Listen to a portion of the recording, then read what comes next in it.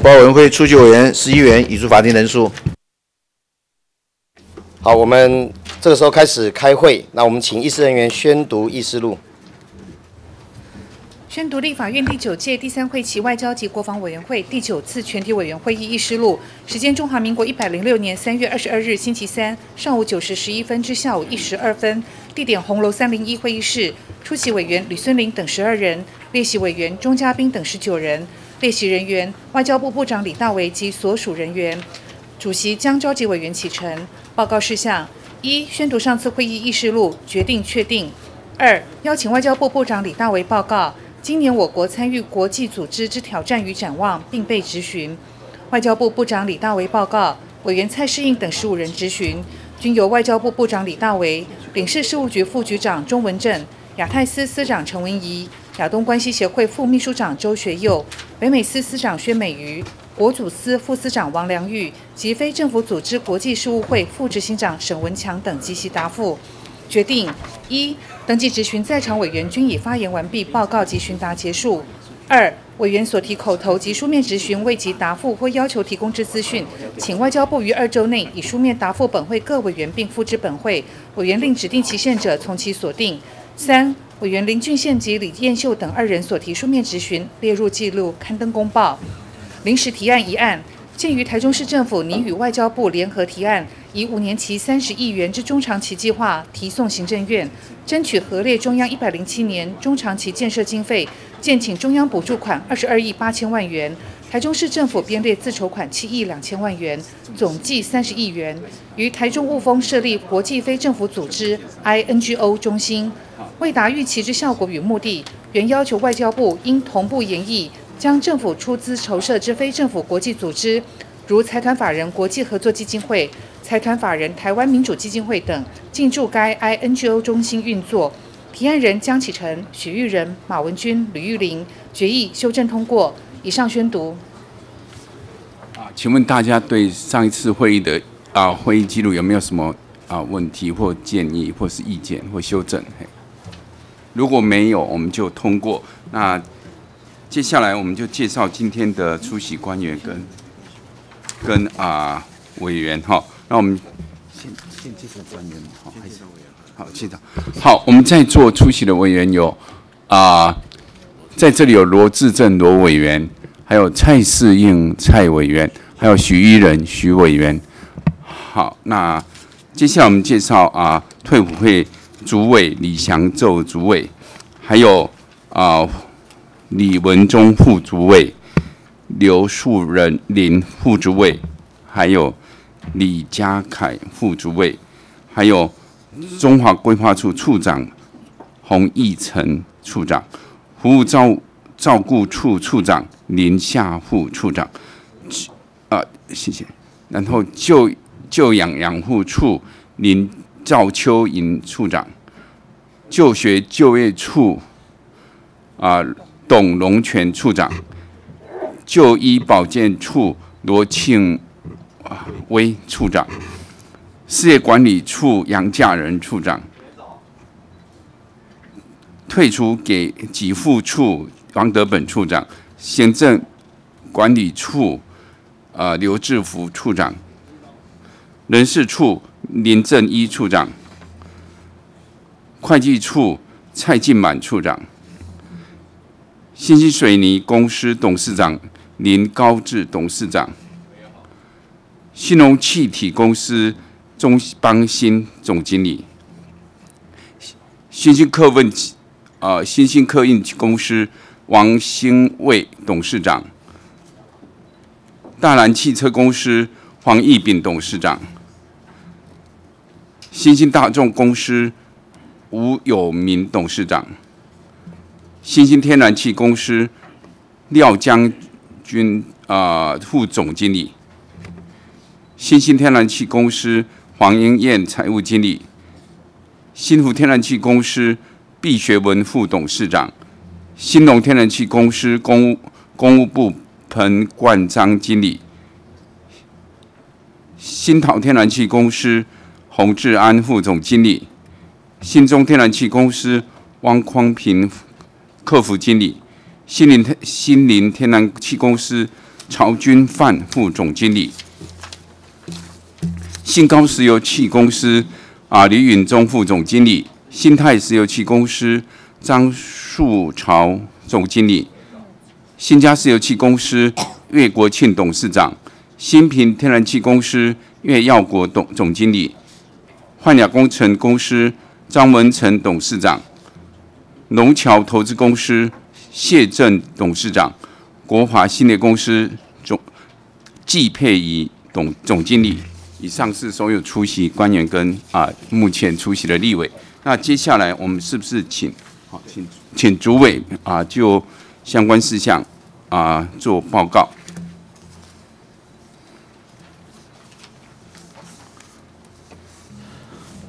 主席、各位委员先进、各位女士、各位先生，首先感谢大院呃长期以来对于本会的鼓励与支持，呃。今天奉邀报告，呃，本会转投资事业机构的呃制度修正，以及经营成效，还有人才呃甄选的制度修正，做专案报告，呃，深感荣幸。那么这一段时间，我们在整体运作上，我们已经感觉到我们在制度的修正跟模式的建立啊，已经有初步的成果。当然，这需要我们后续啊。呃，持续的强化努力，那么这部分呢，也望呃各位委员先进呢给予呃指导跟支持。那么接下来由我们事业管理处呃做完整的专业报告。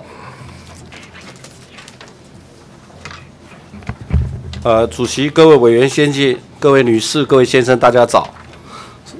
退辅会所属转投资事业之经营绩效及人才遴选制度改革专案报告，报告人事业管理处处长杨家仁。一前言，本会安置基金成立是为筹措退出役官兵安置就业计划所需要的资金而设置的，以基金参与投资民营公司，提供退出役官兵的就业机会，另以投资收益来循环运用，挹注安置就业有关事业的的相关资金，增进退出役官兵职场竞争能力，使其啊可以继续贡献所学，服务社会。对于投资事业。我们会里面是采目标管理，持续提升本会推荐之高阶经理人专业学能、管理智能以及公司的治理的观念，以强化企业管理及监督，提升事业经营的绩效，维护公股的权益，实施迄今经营绩效上升良好。二转投资事业的概况，目前本会转投资事业共有主要二十五家，业务范围涵盖了天然气的供应业、工业制造业。大众运输业、百货业等主要的投资事业均持股啊在百分之二十以上，平均持股率约百分之三十四点一八。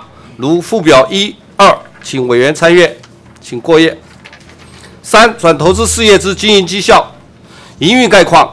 经统计，二十五家主要投资事业近三年平均营业收入为四百四十一亿余元，税后盈余为二十六点四七亿元。按本会平均持股率来计算，平均可认列投资收收益约八点九四亿元，整体经经营绩效啊堪称稳定。一百零三年到一百零五年，主要的投资事业经营概况如下表，请各位委员参阅。二、安置情形。截至一百零二年底，二十五家主要投资事业共安置的官兵以及眷属啊一千一百三十二元，安置率为百分之三十六。点二六，其中校级以下退出役官兵及眷属占总安置人数的百分之九十八点零六。三、推动社会公益，由公司董事会提案从事啊各种社会公益的活动，来帮助啊弱势团体，如认养失亲的遗孤，参与慈善机构以及啊赞助社区活动，捐赠啊公益团体重大灾害的补助，以及啊回馈中低收入户等基本费等，以善尽啊社会责任。四对转投资事业之营运管理，成立财务稽核小组，为落实公司治理，促进公司的财务政权，维护公股的权益。本会在今年开始成立了财务稽核小组，不定期至公司啊进行财务业务的访查及查查，了解公司啊实际的各项运作，强化跟公司之间的沟通协调，以掌握啊公司经营的概况，有效啊来监督管理公司，促进投资事业经营绩效之提升，维护权益。二落实公司的监督管理，一、选任具专业素养之董事、经理人参与公司董事会及营运管理；二、针对董事会各项议案，遇有重要的议案，则由本会召开会前会来凝聚共识，以提升啊经营绩效；三、每季召开投资事业营运的检讨会议；四、实施目标管理，各公司董事会中啊来定定啊年度的营业目标跟啊盈余的预算目标，列为啊经理人的综合考评。以督促公司啊能够永续的发展。四、提升企业管理的智能。每年比照经管会对上市会公司的规定，我们办理了中高阶主管企业管理及董监事的讲习班，聘请专家学者讲授法令等相关的课程，以提升啊经理人以及董事啊公司治理的智能。本会啊预定在啊今年的六月份啊下旬来办理。第五，提升啊退出役官兵的安置率。定期啊检视各公司的安置成效，对安置率较低的公司啊，我们透过董事会并指定专人啊来负责协调啊，以提升啊安置率。四、会见高阶经理人的遴选改革，为回应各界要求，本会提升高阶经理人专业职能之期待，业经全面的检讨，并革新遴选的制度，在一百零五年的七月二十九号，我们修订的相关董监管理要点。其中啊，高阶经理人的遴选资格评分的标准，取消资领啊优惠存款利息，以及引进投资事业人人事审议小组，纳入产官学界代表，其能符合啊公正公平之要求，公开举才，以符啊社会的期待。修订的重点啊如下：一、针对军职转任人员，规定于就任时办理自愿停支军军职退休俸以及啊优惠存款，是离职后恢复资领，以杜绝资领双薪的争议。第二。投资事业人事审议小组增聘外部委员，由具有管理或者是本会投资事业性质相关的专家学者来担任，对各投资人选啊予以审查，以其公正客观的举裁。第三，会见高阶经理人员之遴选资格，并订定了具体的评分标准，希望能够啊推荐啊具有企业专才的人员啊来纳入啊管理阶层。四，每年办理高阶经理人员绩效评核，绩效评核未达标准者。予解任，绩效特优者三年任期届满后得啊专案延长一年。四目前的执行状况，依据新的遴选标准，从去年八月份开始，我们陆续遴选了十三位具有领导管理及相关专业学能的人员，推荐至各转投资公司担任我们高阶经理人。其中降级、校级以及民间人士啊，大约各三分之一，以啊实职啊来落实这个革新的推荐用人方式。第二。针对军职转任的人员，在就任时啊，我们办理自愿停资退休俸以及啊优惠存款，以杜绝啊双薪的争议。第四，修正会见高阶经理人的考核要点，从一百零六年开始，我们啊以经营绩效、促进公司发展、政策执行、维护本会权益、经营管理事项及情节重大事等六个构面啊，来对高阶经理人啊实施年度的考核。是未来的成效预期，本会。大力改革遴选高阶经理人的要件，除具备企业管理智能及配合公股政策外，希望能够借此啊来精进公司的营运效能，导入专业经理人的概念，借重其啊在业界的实务经验，折冲协调公民股之间的合作空间，来并建立啊公股的专业形象，能够啊来长远的那个发展营运，以及啊提升啊公司获利能力，永续发展。结语。本会将持续精进会见人员之专业智能，加强对高阶经理人的绩效考核，促进整体的经营效能，以维护公股权益及公司的永续发展。敬请各位委员会议指教支持，谢谢。好，我们这个报告事项先结束哈，我们接着进行询答。那原立本会委员的时间是十加二分钟。非本会委员是六加二分钟，我们十点半的时候发言登记截止。另外提醒我们退辅会各位同仁哈，那上来进行询答的时候，只要我主持会议就不用再敬礼了哈，我们就直接上来节省时间。那我们开始，请第一位进行询答的是蔡世应委员。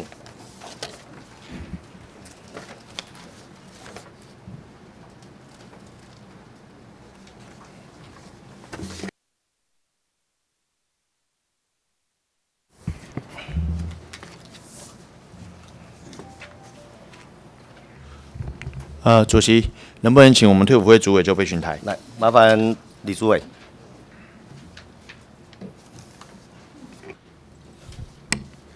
委员长呃主委好首先第一个非常感谢我们在座所有短投资的企业我们的高阶主管管。呃这次能够受到立法院的邀请能够在主委的带领之下一起来到我们的这个呃立法院外交国防委员会哈那首先我是做第一个咨询的委员，先跟各位表示各位辛苦，谢谢你们吼。但是我看了一下名单哈，我想请教一下，有一些人好像没有来到现场，或者是出席的官员跟我们投资转转投资的这个职等不符合吼。呃，有几位我们的瓦斯公司，呃，并不是董事长或总经理，而是我们的经理、客服经理等等吼。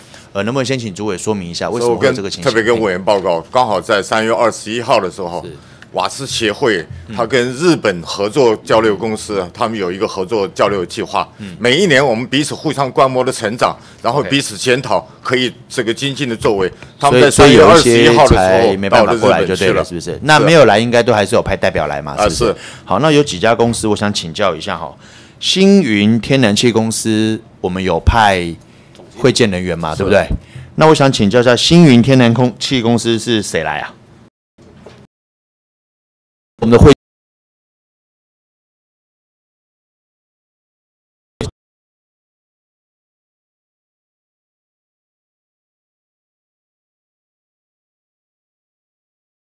运营到公司高阶经理人只有夏富华总经理一位哎，其他的经理级我们会里面没有会见，因为我们持股的关系，所以呃，连经理都没有就对了。是因为我们没有会见的经理。那那个新章天然气公司嘞新章天然气公司我们没有派任何的高阶经理或是经理级以？OK，好。所以在座所有的我们今天来参与的，我想请教一下，包括我们的董事长、总经理或者副总、财务经理、公务部经理、客服经理等等，呃，以这些所有在座所有参与的，都是我们会见推派的人员，呃，是的，没错嘛，哈。是的好，OK，谢谢你，我想先了解一下就好了。好，那接下来哈，我有几个问题想请教一下我们的主委哈。第一个当然还是我们年军人年金改革的事情。我想刚才的呃我们的杨处长的报告里面讲的非常清楚，有几个重要的关键哈。那我也首先我们也看到说，最近年金改革的议题究竟会准准备送来立法院哈。那我想请教一下，这个军人的楼地板的部分，目前有没有比较新的消息了？呃，目前没有还没有，还在讨论当中。啊，是好，OK，好，因为上次我有请教过您，您说两万多、三万多嘛，那你们是还在讨论嘛，哈，是所以还没定案就对了。是好，OK，没关系。但是再下来，我有一个问题，我想请教你，就是说，哈，这个是我们转投资事业会派管理要点里面，我们前面有讲到说，在就任时候办理自愿停资领等等的嘛，哈。是那我想请教一下我们的这个主委，哈，目前所有的会见人员都是你任内所所指派的吗？呃，目前部分是部分是，那部分不是嘛，对不对？那我想你这个办法，呃，是除了在您就任之后指派，但你前任的人，你有没有去跟他们谈过了？呃，都有，我们分别都有了解他这个实际营运的状况，然后他在担任这个董监事的时候，他执行呃呃实对，就是说自停领、自愿停领退休俸跟优惠存款这个部分，都有跟他们谈过了嘛，对不呃对？都有谈过，对而且他们都有都有签了切 OK，好，非常感谢哈。那我想请教一下哈，这里有三位哈，呃，分别是孙觉新孙董事长、陈天胜陈董事长以及中邦兴钟总经理哈。我看起来好像是钟总经理有来嘛，是不是？没错吧？是不是？能不能也请您就被询台一下？孙董事长跟陈董事长应该是就去考察不在了嘛，是不是？是好，那孙总经理，我想请教你哦，不好意思，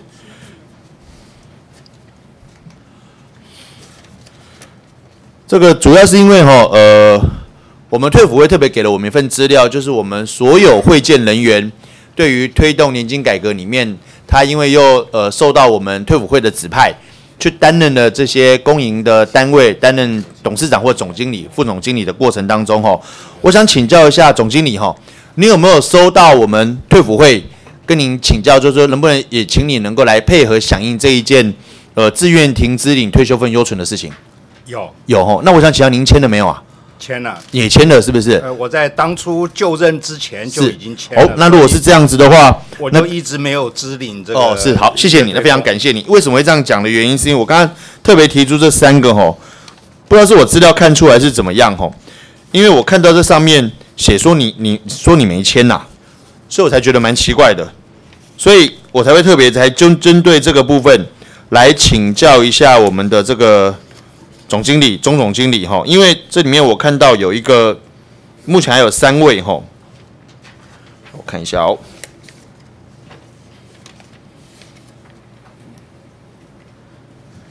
嗯，就是孙董事长、陈董事长跟钟总监，所以钟总你有签嘛，对不对？没有问题嘛，哈。那我想请教一下，那孙董事长跟陈董事长有没有签了？那个处长，他们也都没有支领中成，也都没有支领嘛。是。那为什么你们给我的资料是写他们？那个处长，你们给我的资料里面写说没有签呢？为什么会这样子？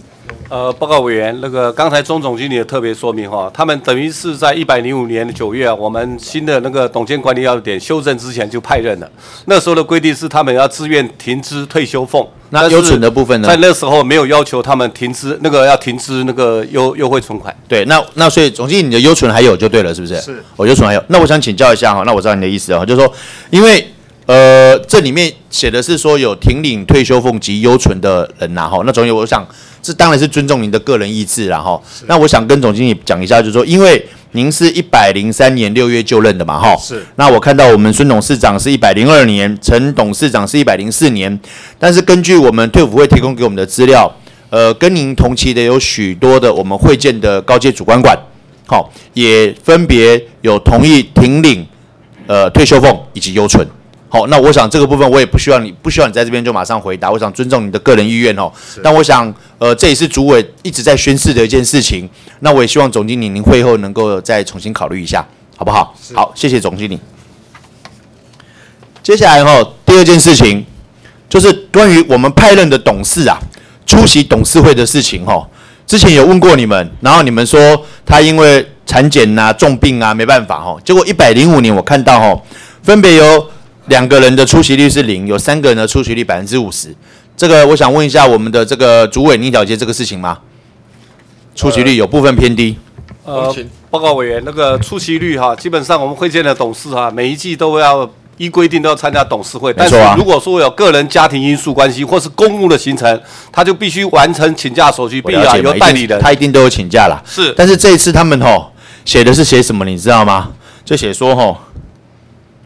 有一个家里有事请事假的，好，还有一个赴日本探亲机票无法更改请事假的，还有一个是出国旅游机票无法更改的，还有一个到纽西兰探望家人，好，我想这个也给主委您了解一下，这样的一个状况，那我们是不是考虑更改别的有意愿的人来担任董事，代表退伍会出席，会不会更好？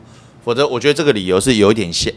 这也是尊重了哈，但我觉得这个理由，在我看来，我觉得不是非常的妥当的一个理由，好吧？我想诸位你也特别在看到这样，我们不希望一百零六年又有类似的事情发生哈。接下来我就要问你一个审议小组的问题哦。我们现在退伍会组了一个审议小组嘛，对不对？是。审议我们的会见的高阶经理人哦，那我也觉得很不错。我特别去了解了一下，好像财政部还没有这方面严格的一个规定，你们做的比财政部还好哦。但是有一个问题哦，来。这个是我们审议小组嘛？我们的召集人是我们的李文忠李副主委，没错吧？对不对？那我想问一下我们李副主委，不好意思哈，您您管的就是所有派去的董事长、董事、总经理这几个人的绩效嘛？对不对？是。那董事有没有算在你们的考核里面？董事啦，常务董事有没有？呃，董事，我们年度里面，我们针对我们所有的会见董事，我们都有个考核机制。好，所以啊，常务董事也有嘛，对不对？呃，常务董事基本上没有特别对常务董事做出考核，因为常务董事等于是董事会之前会前会的时候，所以你们就会对这些人，就是你们会派看他表现的好不好嘛？哈，那你呃，我想问一下李文忠副主任，你考核过几次？就开过几次会了？这个会？是那个跟跟委员报告哈，那么董事跟常务董事他的考基本上是尊重公司了，尊重公司就对了。尊重公司。好，我们主要还是 focus 在经理人，也就是经理人，我们会派的董事长。OK OK，谢谢你。我为什么这样讲哈？我现在发现个有趣的状况哈，副主委您当这个召集人嘛哈，可是啊，我们主委啊也有兼任新湖跟新中南天然气的常务董事然后，那你怎么考核他？为什么这样讲？这个我我特别提这个东西，我不是故意针对主委哈。我特别去查询了一下交通部跟财政部，他们有许多的转投资事业哈。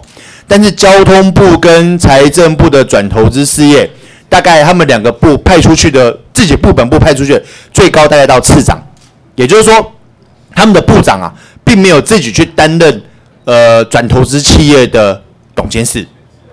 哦，那我想大概是认为说部长级的人选应该是 handle 整个的所有的运作的状况，而不是去单独兼任某一家公司的董监事或常务董事。我想，李主委，你懂我的意思了吧？呃，我了解委员的意思，但是我跟呃委员报告哈，我每半年我会调整一次我对于整个投资事业的嗯这个掌握状况。嗯，所以呢，我现在是新湖跟新中，半年后又调别的地方了，就调调整。那这给你做参考，因为我特别去查了一下啊，这个交通部跟财政部，我问了他们的人，他们他们是认为说部长不宜啊、他们认为说交给次长去去寻就好了啦，哈，这个部分也给主委做审慎的参，因为召集人是你的副主委啊，他要怎么监督你，我就不知道了哈。来，最后哦，最后一个问题，免职的部分，我想请教一下哈。这之前我有请教过主委，我们其中有一家公司叫做新兴客运哈，我看今天董事长有来嘛，是不是？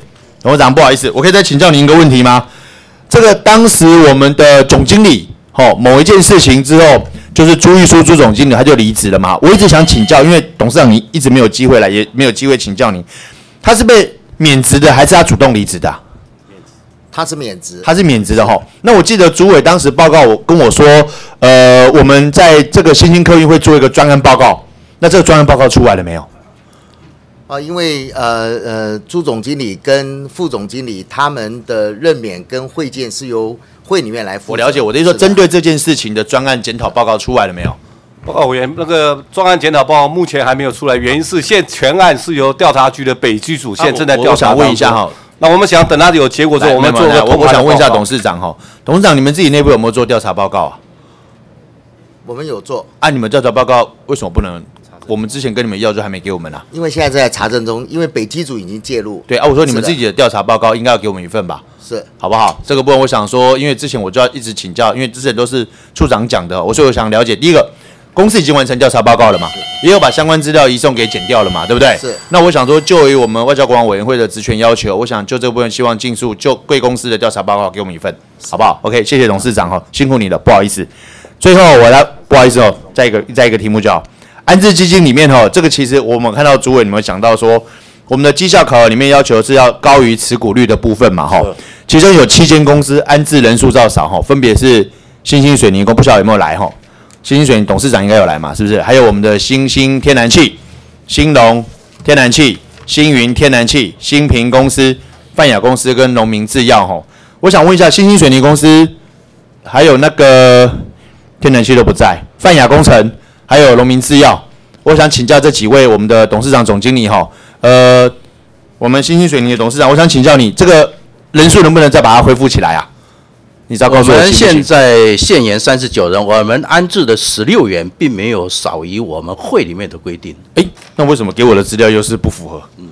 那那那个我们那个泛亚公司的部分，是我们一直有在努力，但是因为我们有专业性的问题，跟那个遍布全国第一的问题，是最后再麻烦你们好不好？那那个农农民制药呢？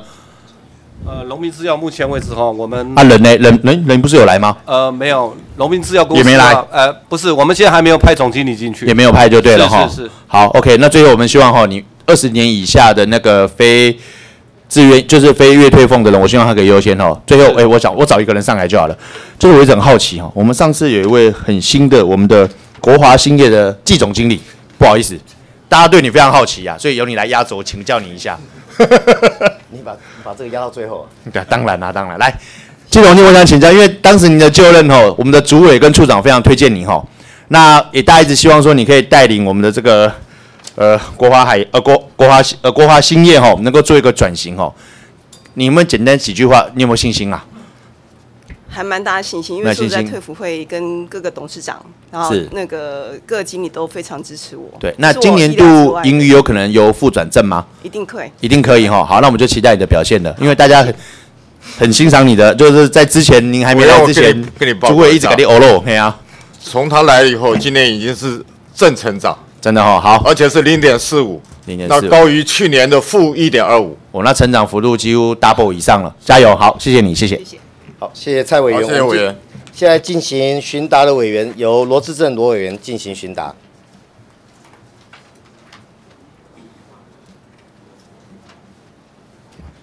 谢谢主席，可不可以请李主委？啊，麻烦主委。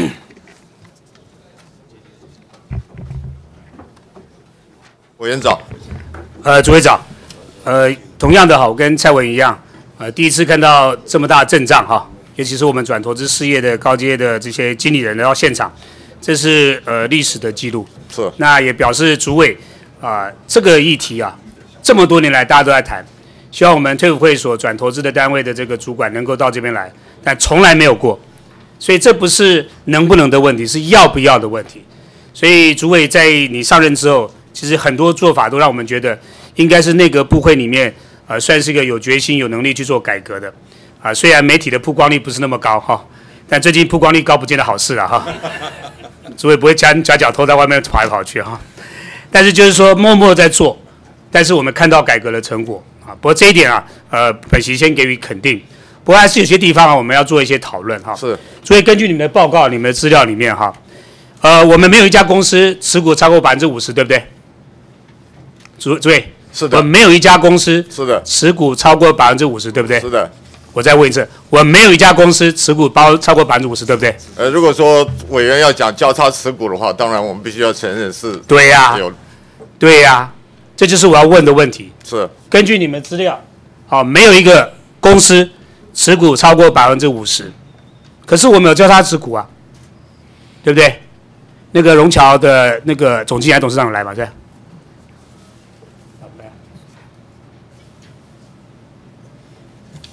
那个龙桥，呃，谢谢董事长哈，谢董事长，在座二十四家公司里面，你们投资几家？我们是除了你们之外，你们自己之外，其他二十四家公司你们投资几家？我们投资了八家左右。有被投资的举手。你看吧，除了退会自己投资之外，你们龙桥又投资那么多，最多是哪一家？最多的是国华百分之四十九点六五，你们自己投资的哦。是辅导会的。啊，你们自己呢？我们自己，对呀、我们自己融桥投资在国华是十点零一，十点零一嘛。是退服会多少？四十九点多。四十九点六八左右。但是你们自己又投资百分之十，对不对？融桥大概有百分之十点，所以已经五十九了、哦，诸位，我们退服会直接、间接，当然你们龙桥不是百分之百，我们退服会了，我知道，但是我们随便举一家好了，真的百分之四十吗？我们讲新兴客运好了，讲新兴客运，那新兴客运那个董事长也在嘛哈？退服会是你们最大的股东，没错吧？是，占了百分之四十九点七，是龙桥又投资百分之四点九。是所以光这两家公司，就是我们退服会直接跟间接五十三点九七，然后呢，事实上是持股过半的。那个新辉董事长，你们最大股东是谁？退服会是有没有过半？没有过半，怎么还没有过半呢因？为龙桥是呃民间的，可是我们退服会有持股啊。那个龙桥，那个谢董事长，我们退服会持持股龙桥多少？呃，退伍会持股那个持股是，通通连会属加在一起，连会属加在一起是百分之四十九对呀、左右，又是不不到百分之五十嘛。不到。对啊，这就是我们讲的问题。我们都过去都是不敢通过百，不敢到超过百分之五十，都四十八点多、四十三十几就不敢超过，为什么？怕到立法院来，甚至变成所谓国营事业，所以就刚刚刚好。我看了国华兴也是一样，过去增资也百分之四十九点零七，那减资也四十九点六，永远不敢超过百分之五十。都那个主委，如果这家公司啊是赚钱的，我们应该尽量想办法多持股啊，怎么还是不管超过百分之五十呢？主委，委员，你讲这个问题啊，其实我们不在意，因为既然我们都什么把叫不在意？我们把会店经理人都呃邀到会里面来接受检验，那是以那是那是现在，所以说我们在投资策略上，当然我们必须要去。所以我现在讲的就是是退辅会总体的投资策略。是如果这家公司是大赚钱的，是，为什么自己绑手绑脚，不要不要超过百分之四十，我了解不要超过百分之五十，我了解委员赚钱的公司多投资一点，是才能够替我们会里面多创造更多的钱回来是，照顾更多农民，对不对？是的，所以，诸位以后可以投资有好公司。如果国华兴这个总董事长、总经理那么强，绩效越来越好，超过百分之五十没有关系吧？是，所以说我跟委员报告哈，我们在四月份的时候，我们有一个财务稽核小组，这个财务稽核小组是从财报、从税查的角度上，我们去了解我们所有的投资公司它的营运状况。那当然，我们从营运状况里，我们反向反瞻，我们到底可以有的作为跟后续的经营策略。所以，主委，我现在讲不是他们决策，是辅导会决策的问题。是的，对不对？是的。以前有心理障碍，不要超过百分之五十哦，一超过百分之就被交到地法院被定哦，被监督哦。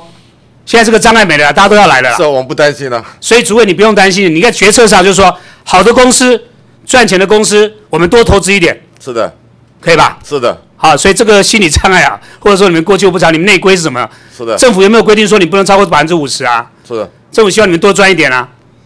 对，当然不可能百分之百就会变国营事业，但至少我觉得那个会里面是有这个决策哦。是。已经有了吧？是。好，就是说如果一家真正赚钱的公司。我们不要永远自己绑手绑脚，不要超过百分之五十。我们看到好几家公司赚钱赚的不错啊。是我们在持续阶段性的我们的检讨在规划。OK，好。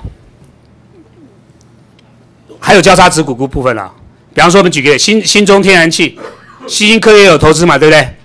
新没有吗？这是你们之前给我的资料啊。好，新宁天然气公司新章是不是有投资？有。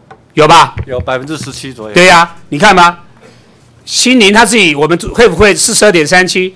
如果新章有百分之十七，等于五十九点多，哎，快六成哎，交交叉持股啊。所以，诸位，你们那个所谓的持股比例那个百分之三十十资料是错的。你现在讲的是你们自己直接投资的，所以下次这个资料提供要好好讲清楚。我们实际掌控每一家公司的比例是多少？这财报一定可以看得出来了。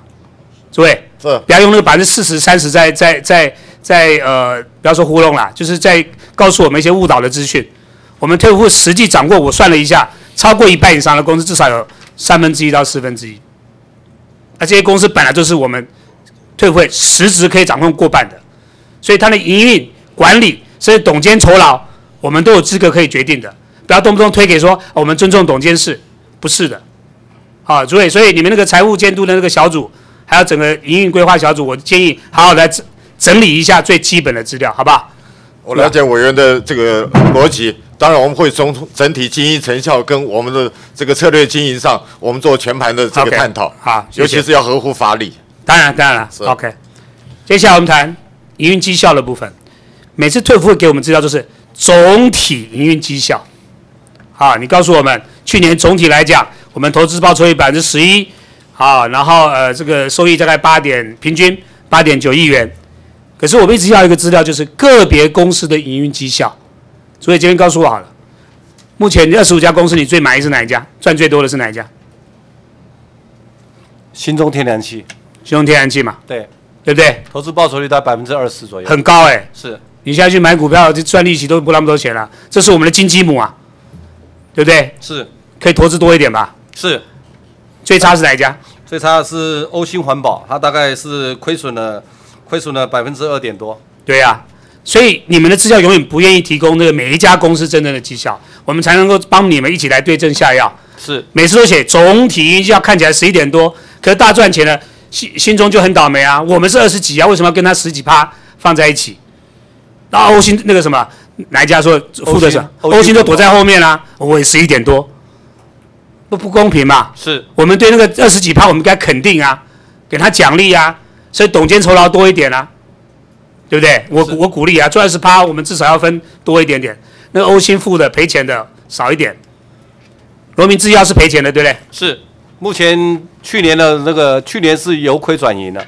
对，但是这家公司行政院早就核定要办理撤资，我们已经办过四次的公开招标，但是都没有。你到一百零四年已经办了四次公开标售，那因为股那个价钱不合，对，我们都废标了嘛。对。一百零四到现在一年半，一年十五个月时间啊，十五个月时间，有没有在做任何的标售的作业？有有，我们现在正在办第五次的那个公开标售。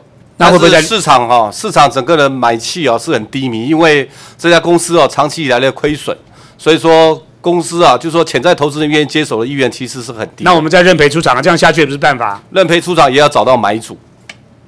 那多多多认一下不行吗？也也真的买不到，那家公司变成我们的包袱为负担了。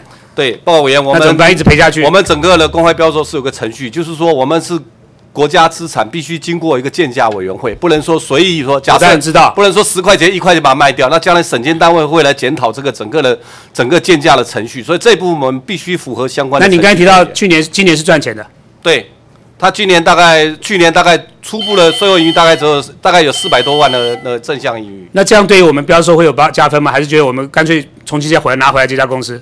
包括委员，不再标售我们还是持续的来来办理这个标售。所以基本上我们要放弃这家，就撤撤资就对了。是，目前为止我们那个跟行政院政策是还是没有改变。那你觉得最大问题在什么地方？是我们这家公司真的真的很差不行了，大家没有要买，最大的？最大的问题啊，是这家的大股东啊，是后面是信东公司，然后呢，公司之间也是制药了，所以说它里面产生公司一个最大问题就是存货很多，应收账款也很多，那这样的话会让母公司我们这家母公司本身的营运出出现了困难，甚至常常会亏损状态。那这一部分呢，因为我们持股又偏低，我们持股大概百分之四十，信东公司持股百分之五十六，所以在股权啊不平等的结构之下呢，基本上公安公司重要的政策都是由那个民股来做决定，但是。我们有一个什么？我因为我们拥有百分之四十的股权，所以我们拥有否决权。对因此，公司重大的决策只要是违反会里面政策，我们的倾向就是决议不出席，让这个董董事会破局。会吧哈对，不过还是特别强调了，因为这是在一百零一年就已经核定的一个行政院的政策决定要撤资，那我们尽量加快。是好，尤其这家公司真的不要拖垮其他我们整个退伍会的整个基金的运作，好吧？好，谢谢委员。那其他还有没有其他你认为有有必要做处理的公司？呃，目前为止，我们大概会比较关心的是农民制药、欧兴公司以及国华，在季总理之下，希望能够啊，公司啊能够整个稳健的一个啊那个缓步在。有时候是公司的问题，有时候是经理人的问题。是的，你国华现现在换了一个呃董事长、总经理之后，整个营运绩效都起来了嘛？对我们很有信心。所以就是刚才讲，这些所谓待观察名单，在过去我们认为是有问题的，有时候真的专业经理人进去之后就专就不一样了。是的，所以每一家公司的情况，你们要做个好好的检讨。了解最后还是要讲一下太优这个太劣纯优了，也要奖励一下。我们查一下董监的酬劳跟上缴的盈余比例是有落差的。我们当然一句话讲说，我们尊重每家公司的董监事对于他们董监酬劳的一个发放的比例。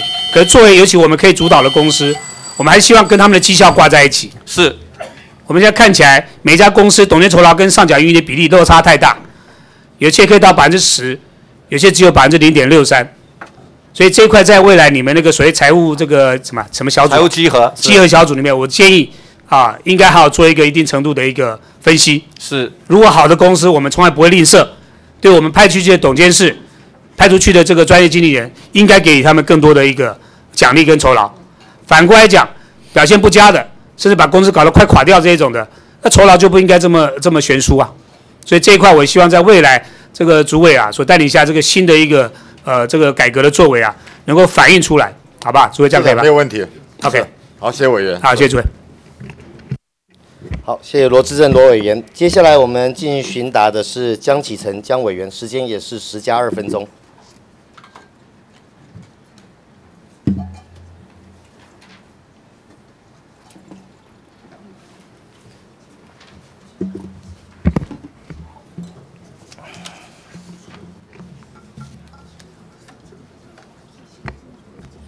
好，谢谢主席，请主委。来，麻烦李主委。委员长，注意好哈。这个虽然替代役不是你们所管辖啦，但是关于就是说，议政署他们现在把那个小七啦、锅贴啦，甚至其他的这些产业啊，也纳入替代役的名额的部分啊。那你们作为这个国军退伍的哈，你们这些辅导的经验哈，那现在在替代役这部分呢、啊，议政署做这样的处理，你认同吗？因为你过去也当过陆军这个总司令嘛，啊、那针对替代役的这一部分啊，过往都是替代役把它放到那个啊、公家机关啊，那顶多在一些科技业啊有所谓的这个产业替代役，但是现在扩大到这种地步，包括 Seven Eleven 啊，包括锅贴啦这些等等的，你有没有什么看法？呃，我跟委员报告，实际上我们呃辅导会我们有替代役的同仁，哎那么我们这些对于替代役同仁，我们当然我们从他的专长，从他过去的经历，跟他之前的训练，我们是希望他能够在工作上都能够非常的适任。那么这些在我们辅导会的替代役的同仁们，呃，经过我们的督考，呃，大概适任率，我们这个我们的评核大概是百分之八十五左右。那基本上这这当然后续我们如果说能够加强的话，这个替代役功能确实是呃能够发挥它的效果。是在政府部门的部分嘛？是哦是过去我们我们对于这些不符合服一般役的啊，是，所以有替代役这样子的一个项目出来。那现在替代役扩大到这样子一个地步啊，你会不你会不会觉得说，其实就你们曾经啊、这个有有有有这个分配到替代役的单位来讲，你会觉得这样妥当吗？因为我觉得这个这个牵涉面可能很广。如果说我能够去多方了解的话，当然我会把我们我们的评估状况跟你报告。啊，这个其实我不晓得说是不是我们现在要消化，赶快消化八十三年以前的这些意难啊，然后呢就广开所有的门道出来哦，然后失去了原本替代役的功能了哦，所以我想说，你之前也担任过呃国军的将领啊啊，想问看看你的想法啊。那回到今天我们这个转投资事业啊，我想这个议题已经在这个委员会啊，每一个会期都谈，每一个会期都排，好，那大家都关注的就是第一个你们的营运绩效，第二个到底它发挥了我们在啊、安置退伍人员的这一部分发挥了多大的一个效果嘛啊、那我这样仔细看来，几年下来，其实我发觉真的非常稳定，超级稳定，这是一个超稳定的一个一个投资事业结构啊、呃，不管是在安置人数或者经营绩效，你如果去看你们提供的资料也好，或者我们从外面所了解的资料也好，就拿一一零三到一零五啊，你的营业收入啦、税后盈余啦、本会认列的投资报酬，几乎都是一样，那个误差啊不会超过百分之一耶，我说这超稳定的。啊，那这超稳定有两两两个解读，一个就是你们真的很厉害，不管经济好坏都是很稳定。第二个可以解读，那也是不长进，因为你没有设定你的目标，所以永远都在百分之一里面浮动。所以诸位，到底转投资事业，你们作为当中的一个持股的所有人，有些高达百分之四十九，那低则百分之二十，也算是重要的股东啦。你们难道都不要求说长进一点吗？呃，长进一点吗？呃，跟委员报告，其实你看的这个问题啊，我们看的也是非常的关键啊因为我们要我们也想了解怎么样去强化安置基金，然后能够真正能够发挥安置基金最大的成效。当然，农民呃的需求这一部分呢、呃，在在我们讲起来还是非常大的，而且现在有有一点入不敷出。那所以说，我们从整个投资事业的经营这个管理策略上，我们最近啊，我们除了在制度的转型上、修正上，呃，当然人才的培育是重要，但是最重要的一个重点，我们必须要从反向的角度上，我们来看是不是能够去强化我们的营运成效。所以我们在下个月，我们有一个财务稽核小组，这个财务稽核小组把我们所有的投资事业，我们从财报、从税查上面，我们去做一个彻底的了解。那么当当然，从这里我们可以反战看我们将来的这个经营策略是不是如何来精进，如何来强化。我那个诸位，问你两个问题了啊，到底安置跟绩效跟经营绩效这两个，从你当主委的角度来看，我先不从这个事业本身的角度，事业本身可能他董事长、总经理他有他的一个经营的角度跟他的目标，从你作为股东，还有你退辅会的功能的角度，安置跟事业经营绩效哪一个你板优先？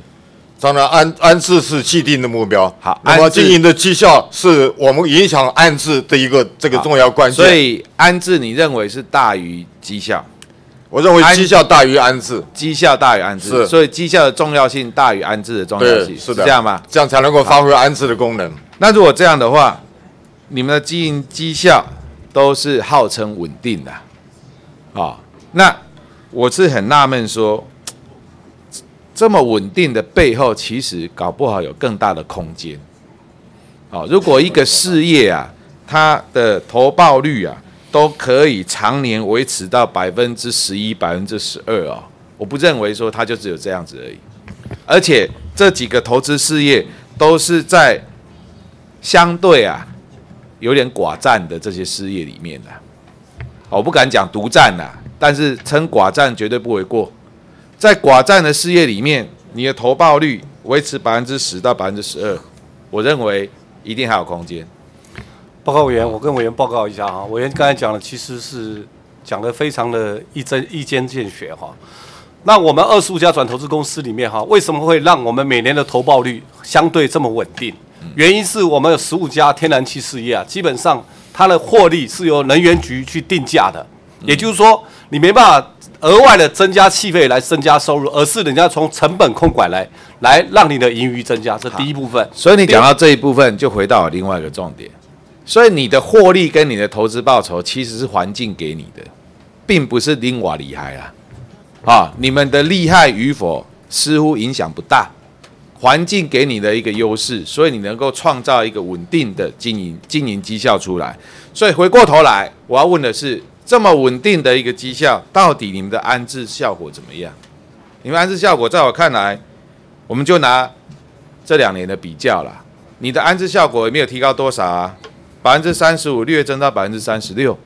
我又回到我刚刚讲超稳定结构，就是一趴以内，哦，三十五点七四到三十六点二六，零一趴都没有，提高一趴都没有，哎，这是你安置人数的部分，哎，所以我就说，你在一个养尊处优的环境里面，如果你安置都没办法达到一个比较好的成效的时候，那就让人家怀疑，那你们到底在做什么？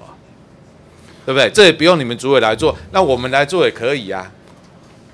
呃，报告委员哈，我们转投资事业哈，其实在公司内部哈，员工呢流动率相对是低的。那有些公司因为啊，因为啊公司形态的关系跟经营方向关系，会让它离职率比较高。譬如说客运公司，它的离职率相对就会比较高。譬如说泛亚工程，它需要很多工程界人才，那安置率就会比较低，因为。我们从国军退出于官兵里面要找到这些符合专才，它不是那么容易，而且它它的养成也没有那么快速，那这些会影响到安置。有没有那一种，就是说，就是你们现在退伍的当中，哈，所以退伍的这些失业率多高？你有没有去调查？退伍了，但是他还在就业年龄之内的，啊，他的失业率有多高？或者这样问好了啦，他想找工作找不到的有没有？呃。委员问的这个问题啊，其实我分成两两部分，有关安置哈，我们投资事业它的安置率，它的分母非常的小，因为投资投资事业就这么就这么二十五家，嗯，那实际上我最大的安置率是在辅导所有的退伍军人，包含二类官兵，你服役满四年到九年，这部分是我要安置的最大部分。那那一部分，那这一部分，那一部分被安置的比例多高？这。目前这部分安置的比例，我们从去年的百分之五十六到现在的百分之六十五啊，所以实际上我们还在强化它。大概呃有今年预估到年底，我们这个目标数大概是八千八百人。所以你平均每一年要媒合的对象是多少？没有合作对象，我们过去大概是一千两百到一千五百。那么今年投资事业的部分还是所有的？所有的吧，所有的，所有的，每一年差不多要要安置的部分，每一年新增加的啦，是不是？是新增加，但但是也有也有一些可能他被安置，然后他又离开了，会不会又回来找你们再次安置？呃，这部分我们把它列为次优先，次优先，那那部分也有嘛？啊，是也有，也有嘛？对啊，所以我刚刚问的就是说，不管他是首次还是再次，现在有需求的。有需求的还没有被安置的有多少？你们有没有计算？应该有吧？就是在你的那个认列名单里面，或者他来申请的名单里面，到目前还没有被安置的还有多少？不管他是首次或者是多次再次来要求安置的，这个数字有多少？这等于就是他现在处于待业状态嘛？是的。对不对？因为我又问了这个问题啊，是一个呃整体性的问题。当然，当然是整体啊。是，我要问的当然是整。我的意思说，这样子的人数有多少？那为什么他想要工作却没有办法被安置，或者没有办法被没被没合？这个比例有多高？多高？你刚刚讲的意思大概有百分之三十到三十五哦。是，啊，他现在是处于没有被安置的状态啊，但是属于待业中嘛。那待业中就是说他可能就是领退休俸，对不对？是啊，那或者是领相关的这些津贴嘛，对不对？但是他是有能力在投入工作的，不是吗？那为什么没有没有安置？我们按照这个年度的平均数来讲，哈，每一年大概都有呃五六千人，五千人到六千人。对，那么这里面，我们从我们的咨询中心，还有从我们各农民服务处，他委外训练，然后带来媒合，大概他的就业率可以到达过去是百分之呃，过去是大概是一千五百人到一千八百人之间。那所以说这个这个比例啊，可能是百分之四十、百分之五十。那么我们今年提升到百分之六十五，那等于说是我们把呃过去的这个比例，我们扩大范围，我们去强化它。要不要设一个目标到百分之八十？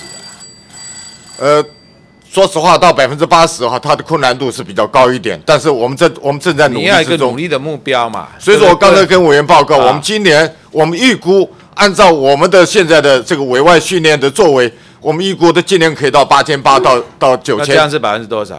啊，大概是百分之八呃不到八十，不到八十啊，是可能百分之七十五到八十之间。因为我可以理解，就是说，不管怎么样安置，总是会有一些他不愿意，或者他条件比较高，或者他不接受的，这我可以理解。是啊，但是我们总不能把这个比例啊，一直好像把自己的目标设得很低啊，百分之五十我就满意了，百分之六十就算进步了，我觉得这样不行啊。我那这委员报告你存在的价值，你今天退辅会存在的价值，你就是要把这个安置的比例拉到最高嘛。没有错，对不对？没有错这个才符合我们编列预算给你去执行那一些安置工作的一个目标嘛，好不好？所以我们这是一个我在这边特别提出要求的，就是你们应该设一个目标出来是啊。第二个就是这一些经营的绩效啊，稳定当然很好，但是不能在在这个稳稳定当中过度的安逸哦。是，然后不求这个绩效的表现，然后不淘汰任何不适用的人，这样也不行啊。有的进去啊一辈子，或者是说啊太安逸了，我就在这边，没有错因为它是一个寡占事业嘛。是，那你占了那个缺，搞不好就永远都占住了啊、占到你退休为止啊。那这样对吗？好像也不太对啊。安置不代表说就不接受职场上的竞争、哎，这部分我们正在强化之中。对，这个部分也是要进步的啦。是的，好，我在这边提出特别提出这两个要求啊。谢谢。好的，谢谢委员。好，谢谢江启成委员。我们接下来进行询答的是本会委员吕玉玲吕委员。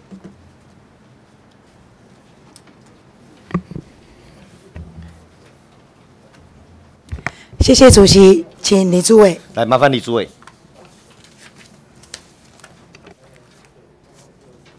委员长，诸位，在我们立法院的预算中心特别针对哦，我们这个退辅会的安置基金，在转转投资事业上做了一篇报告。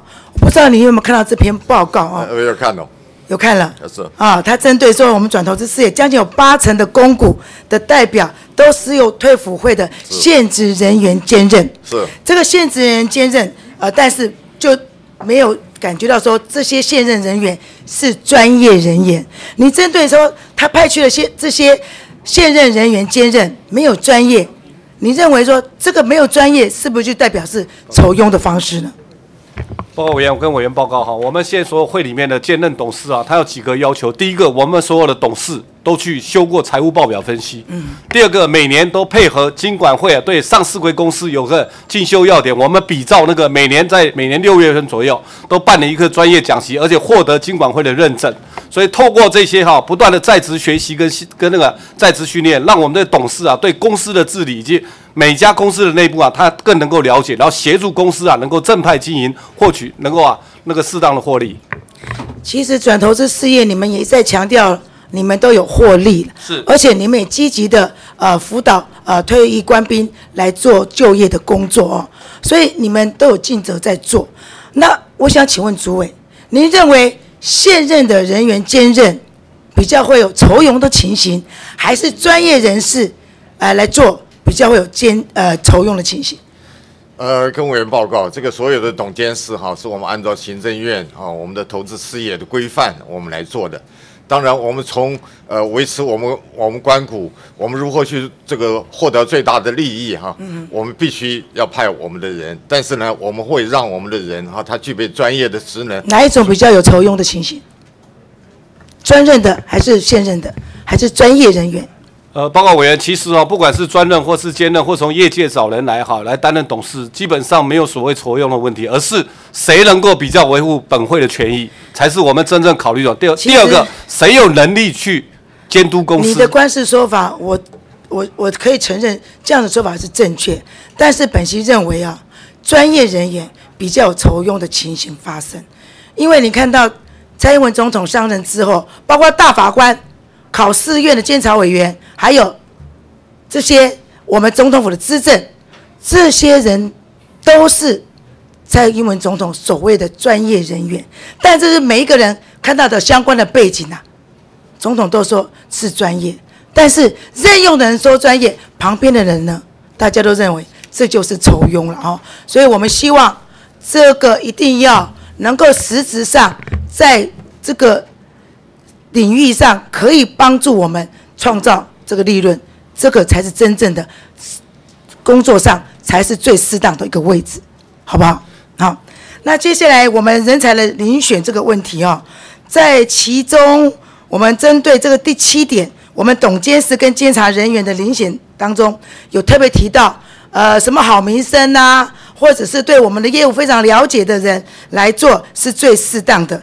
但是我们看到，还是在我们推辅会用我们里面的人员、主管、科长来做这些兼任的工作。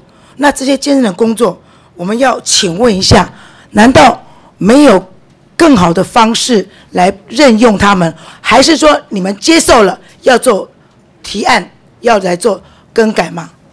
呃，报委员跟委员报告哈，这个该主委有特别跟委员报告，就是所有的董事会派人兼任是依照行政院的相关规定，而且行政院它有明文规定，为了让这些人能够发挥角色功能，而且一定规定要九十等以上，也就是说你在公务员的历练当中必须有一定的层次，才能去派人去担任思说你不会有改公司的董事。变喽？呃，目你还前是用你现任的人员去兼任吗？我们尽量就现任人员啊，我们来提升他的专业职能。所以你不会改变嘛？呃，目前为止我们并没有要要改革这一块。好，那不改革的话，那我有另外一个提案告诉你呢，也就是你们特别在普通董事的任用资格里面有一个例外条款，你们有有一个例外条款哦，它里面特别说，现任辅导会的主管身份确定啊，因为任务所需啊，专案的核定有例外的情形的话，就可以适用。那你们有没有用过这个例外条款？呃，目前为止我们没有没有用过，都没有。是我们现在的所有都是科长以上人来兼任。好，那这样子的话，我们希望你们就秉持着你们的职务上的所需来任用这些人才，好不好？是。好，谢谢那我现在问主委，主委，我想请问一下，我给你看一个图片，就是行政院在三月十五号推出不公义的年金改革的文宣，上面特别写到，不公义的年金一定要改，为了我们孩子要改年金。这个文宣有通知到各部会去，不知道有没有到达我们的退辅会，有没有到了那边？你有没有去做宣导？呃，跟委员报告，我没有看到这样的一个版本。但是呢，因为年金改革的这一部分呢，一直持续的在进行，我们是把重点放在我们如何去收整农民代表退伍军人的意见。那么当然，我们希望说，我们所有的年金改革的意见都能够符合真正的公益。那诸位，你看到这个文宣，你有什么想法？有什么感觉？你能不能接受？呃，我觉得这是一个呃全面性的问题，因为大家呃现在好像呃各持一词，然后呢呃大家都有自己的看法，但是我觉得我们从理性的态度我们来看，是不是我们能够好好的从年金改革到底它应该有什么架构，年金改革到底如何来管理，年金改革到底怎么样，它才是真正的一个制度能够永续发展。是，现在政府说财政困难，要来年金改革，其实大家都接受改革，但是不要污名化。什么叫不公义？难道说学生孩子在家里面对的都是不公义的父母，在学校面对的都是不公义的老师，在我们所有社会碰到的都是不公义的警察在为我们执行治安，不公义的军队军人在为我们保护国家，还有不公义的所有的公务人员在为我们政府做大小事务吗？在场的大家好几位，你们通通都是公务人员，你们辛苦的工作，经过考试进来，认真的谨守本分，做好你们分内的工作，为了养家，在这边战战兢兢的做事。但是这一个文宣，这个 DM 说是不公义的年金，现在所有年金的改革，面对的是所有军工教劳农渔，通通都要改革。那你这不公义，不是所有人都不公义吗？破坏所有公务人员的形象，破坏老师，破坏所有家长、劳工，通通都是啊。我们政府自己没有办法给我们投资更好的环境，没有办法给劳动者更好的环境，没有办法给雇主去想办法给我们的员工加薪，来提高这个人事成本。这个政府没有做好，反而通通怪到所有不公义的大众。所以，主委，我想请问你，你听到这个事情要发这个文宣到你的部会的时候，你有没有说话？你有没有声音呐、呃，跟委员报告，我们一直站在如何去替退伍军人的立场上考量，我们去收整完整的意见，然后提供意见给联改会。那么这个过程中，当然我们看到很多很激激昂的场面，我们也看到很多呃，实际上呃，已经是自己观念可能是受了谣言的影响。那么这些我们都在很理性的沟通之中，我们也希望我们这个社会啊，大家都是站在一个和平理性的立场上，我们共同来看待这个非常重大的问题，毕竟事关整个国家未来的发展。我是觉得所有的事情都可以用沟通的方式，大家都愿意共体时间。但是我们行政院三月十五号发布这个文宣，通令到各部位相关，要好好的做宣导。我们看到非常心痛，面对着现在在场的所有的公务人员，你们认真的工作，你们被污名，你们不伤心不难过吗？所以我希望，诸位，您是军人，你也是他们的首长，在未来面对有任何不公义的年金改革这样子的标题、这样子的污名、这样子破坏形象的事情发生的时候，诸位，你一定要出声，一定要为大家说话，好不好？我没有放弃为退伍军人发声的任何一点空间。所以，诸位，我们看到今天这样子的情形，我们也要看得到未来，包括很多军人方面他们的福利问题。那有关于很多现在他们住的眷舍、营舍，我们也应该要人性化。这方面，诸位你都可以有同理心了解。所以，我们未来在针对建设、营舍改改建方面，你一定也要替他们呃做一些比较人性的管理。所以，就像有些一些休闲方面，你也要来做好不好？是的，我会努力。好，这个包括我们刚刚所讲的一些人事的改革问题。虽然说我们政府在政策上面都有提案，希望你们做一些更改，那你们要坚守到你们在这整个业务上，你们最重要、最重要的责任就是要来照顾所有退役官兵未来的生活跟所有就业的方面。是的，这是诸位您的责任，我们一起努力，好不好？是的，谢谢委员。好，谢谢。好，谢谢吕委员，谢谢主委。嘿，好，请王定宇委员。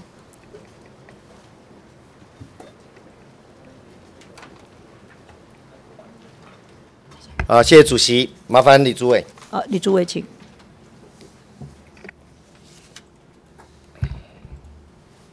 委员好。哎，主委长好，我现在很快速的扫描一些问题哈。第一个有关谢政哈，我大概这是第三次询答，如果你有印象的话哈，谢震那个时候在去年我就问到，他兼任了两个董事长，当然有一个是艺人公司，哈，他还兼任了某一家客运公司的监察人。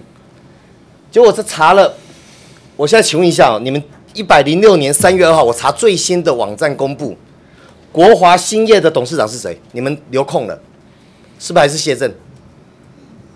呃，报告委员，我的职务是兼职的。我知道，我没有说你错了，我现在问主委，然后你请回。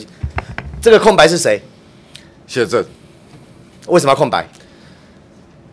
他是兼任，不是专任。因为他是兼任。你们兼任兼任可不可以？我待会拿法规，你们自己的要点给你看了哈。所以这里还是谢震嘛，也就是谢震个人没有问题。我现在讲是退服会处理事情的效率跟态度哈。龙桥投资公司的董事长是谢震，他也兼了国华兴业的兴业的董事长。我们看一下去年的询答哈，去年的会议就在这里。好，那个时候是从董祥龙我开始问起的哦。董祥龙说，违反相关规定的兼任一定会做，一定会处理，还谢谢我。虽然董祥龙现在不知道人在哪里了哈。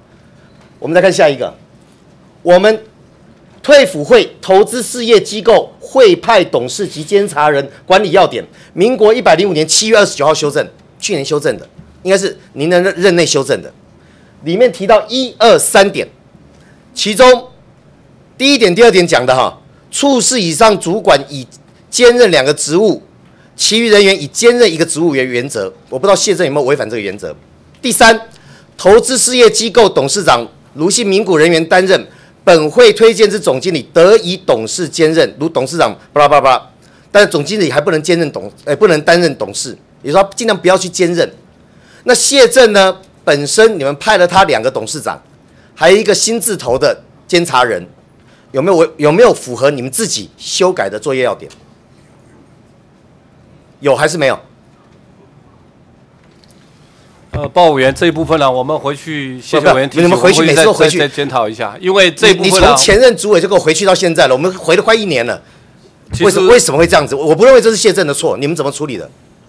就是说，我知道那个有是空壳一个人的公司，你们没有其他人可以兼任吗？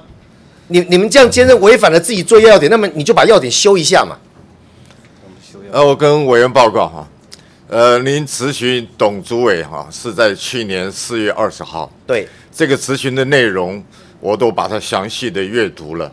当然，我认为这是一个问题。啊，这个问题你们后来有做要点修正，我看你们有从法规面去处理，我觉得不错，所以我就不问了。可我一直在调那个相关的资料哈，你到了今年，你不是修正要点，你是把那个名字遮起来，不让人家看到，把这个处理不好嘛？呃，我们倒没有遮掩的心态，连就那个空格哦，你们的名单里面就那个是空格哦。但是跟委员报告，那是不小心没有 key in。实际上，我看了您咨询董主委的详细内容，当然我也做过很深的思考。目前国华公司，那当然我们更换了总经理之后啊，确实，不，那我那是我第二个问题要跟你跟你请教的。我现在只问这个人，我不是说谢正的人有问题，而是你们在派任，你们有自己的作业要点，有必要一个人让他兼两个董事长，还兼一个监察人等等的监事等等。如果我们觉得有必要，而且这样可以遵节开支，你把作业要点再修一次嘛。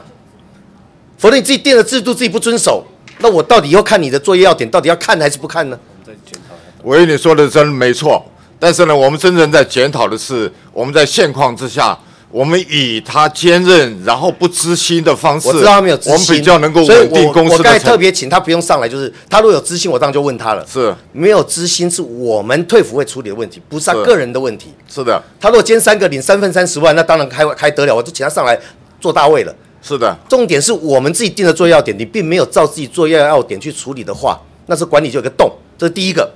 第二个哈，有关国华兴业，你们本席是热见你们遴选人才的人才库扩大，我更高兴见到有农民眷属可以来担任我们转投资事业的高阶的管理人，这是好的，甚至多扩大我们的人才的 database，让进入管理阶层的更多有竞合的关系，我都乐见。所以国华兴业新任的总经理。我刚才听到蔡思应委员对他赞誉有加，我我们蔡委员通常对美女是比较比较能够下手会比较软一点哈，他比较欣赏，但我我乐见人才的扩大哈，但是我们的监督我还是要详细，我先请请教总经理啊，总经理请上来哈。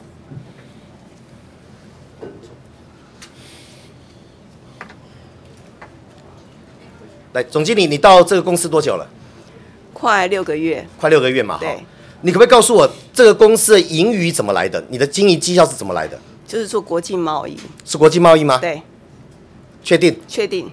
所以你们的盈余是因为国际贸易。对。那前任的还有就是说租金收入，还有租金收，入固，定租金收入。所以你们的盈余转正是因为这两个，对，确定。所以你半年的经营做国际贸易跟租金收入就可以让业绩倍数成长，转亏为盈。我觉得正好是正好，对不起，我打打断你问题，正好是去年年底的时候，电子业正好是它正好对，所以我觉得当然我我不跟你讨论那一块，因为那块哈，事事情的真相不是这个了，否则那前任的那一个真的是猪头了。你怎么做的？人家半年就可以转正为盈，我不相信前任的将军能力有超到这程度，我不相信。我们的减资案是什么时候通过的？处长，我们这家公司的减资案，你们自己的报告有写哦。呃，一百零五年减资会有什么效果？减资会把那个股本瘦瘦身，股本瘦身之后，EPS 会怎样？会拉高。我们减资多少？第二十一届第五次董事会减资多少？我们减资到股现在的资本额是一亿元。对啊，原来资本额呢？呃，原来资本额两亿五千八百多万，减资超过百分之一百五十。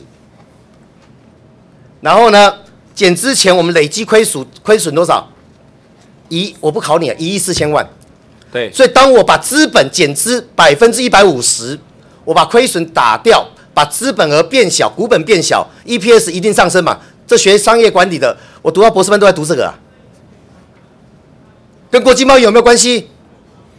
呃，报告委员，其实这里面有个很重要的。第二个，你们船什么时候卖掉的？呃，在去年卖掉了，卖了多少钱？卖了三千零五万。三千零五万。你们的报告写三千零四十亿，还多写了耶。呃，那是处分损失。好，你们卖是卖三千零五，你们卖了三千零五十，结果扣掉折旧，折旧打掉，我们用会不管用哪一条会计准则，你们的折旧已经打掉了，然后呢，把损失也扣掉了，就算一算呢，卖掉这条船的税前净损失是三千两百二十六万元，对，但是实质有收入三万三千多万，所以实质收入放进去，加上股本从两亿五千万降减资到一亿，你 EPS 当然上涨嘛，你有现金收益嘛？可是这现金是赔钱卖掉的、哦，你你的本业不做了，把船卖掉了，而且卖挂牌卖了很久，好像一直卖不掉嘛，对，所以是亏钱卖的。我这样解释没错吧？没错。所以当你亏钱卖了，但是我造成了现金收益，我把财产卖掉了，我把股本降低了，我再问一下处长，EPS 会怎样？会拉高。所以我们盈余是怎么来的？呃，盈余不是因为这是其中原因之一，这是不是原因嘛？这原因之一。那还原因之二是什么？原因之二是国际贸易，国际贸易。事实上，我们季总来之后，事实上对国际贸易，我没有说他那一块没贡献，我是说我们讲故，我在那边寻导，我都很讲道理啊。故事要讲完整，你故事讲把把不讲不完整的时候，我们在那边监督就会缺了一块，会呈现前任的人。我我不赞成肥猫，我也反对过多的过狭隘的人才临聘，但是我也不相信这些将军的能力会这么差，比他差这么多，我也不相信。我们要呈现一个完整的真相，就是季总来，也许在租金的效率上有提升，可是我们没有看到报告；也许在国际贸易上有有所成长，但半年让 EPS 转正，前面那两项叫做财务操作才是真相嘛。每个上市公司都会做这一套啊。你们你们弄这个还是小家子气？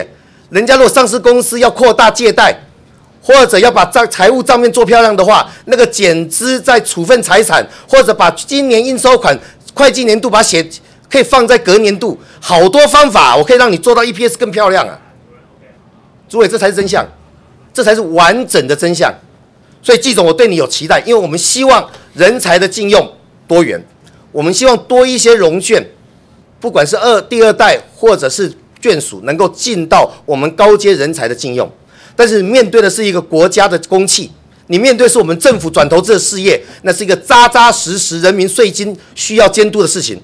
所以你的营业收入不是你讲的单纯半年的国际贸易，否则你把国际贸易的项目跟营业额报本会，请你把你的租金报本会以外，跟上一任前四年做比较，你给我告诉我年增率多少，然后年增率的百分比来自于哪里？是来自于减量、增量，还是来自于多出来的营业项目？出完可以这份可以给给本席吧？可以，可以。所以我们就可以看出这个公司的经营成效的真实，跟财务面的操作方式。是，所以我在这边利用这时间告诉主委，第二个议题就是第一个议题，你们没有按照你们要点做事，这不可以。你们要点如果不对，好，要点如果不对，你可以修啊，我都可以接受。就像我曾经在那边问过，我们退伍军人的教育费的补助，如果那是福利，请你告诉某人那是福利，我帮你提案修法。任何军人该有的福利，我们要以法律保障之，不用再仰人鼻息，不用再不用再拜托任何人，更不用每一次面对质疑的时候，不知道该怎么解释，因为你们把那个费用放在人事费里面，怪怪的。他如果是社会救济金，那你要定一个救济的基准点，多少以上可以领这个学费补助。所以你还记不记得当时本席就跟你说，我反对你身为将军带头拒领。如果那是你法定的权益，你要带头领，要不然你要下面的你的学弟、你的下面的后期的军官怎么领？该你们的领导军官要带头领，不该你们领的，我就通通以法律规定不要领，用法律来保障之。如果我们要为了招募职业军人，我告诉你，退伍之后你的孩子教育补助费是你福利的一部分，我们把法律定出来，不管谁执政，不管社会怎么讨论，法律定的那是法国家给我的保障。而不是一个恩必侍从，或谁执政给你的恩惠，不是军人付出劳力、付出工作，国家该给他的，以法律定定之。我一直强调这概念，所以你的作业要点你们定了，如果有不完善，你修嘛，你不能自己藏起来，去违背，散了一个洞这样做，或者我们临聘新的人选，期待越高，监督要越透明、越强烈。你要把所有转亏为盈的方式提出来之后，也许我在。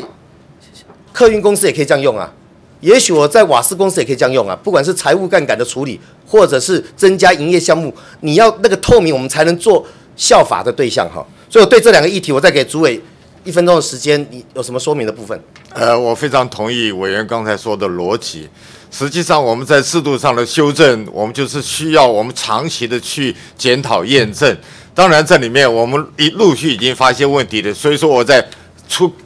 刚开始报告的时候，我们就讲，虽然有立竿见影的效果，但是呢，我们持续的要按照我们制度的修正，然后我们再检讨验证，我们去不断的去努力。你不要那么这一部分，老是来这边让我我们没有什么神通广大，但是呢，我们必须要肯定我们现在在制度修正上的作为。所以刚才委员所提到的，其实都在我们纳入考量、检验、修正的阶段。我对你的肯定从来不吝惜哦。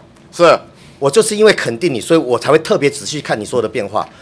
那个，我跟主席借三十秒，我最后一个议题没有讲到哈，你回去看一看，有关我们瓦斯公司来自于现在已经被判定为不当党产的央头等等，从之前提供的资料越靠近现在，你们提供资料越模糊，而且数字有出入。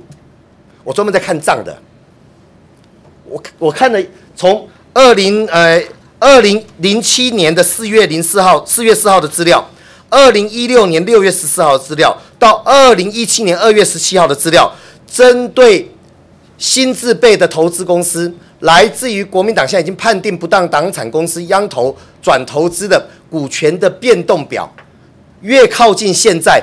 越模糊，而且数字还有一些不对的地方。我今天时间到了，我没办法再细问。我请你回去这一块督导。我也希望我们副主委这边相关的资讯能够越完整提供越好。如果那是不当党产要回来，也不是归任何人的，是国家的。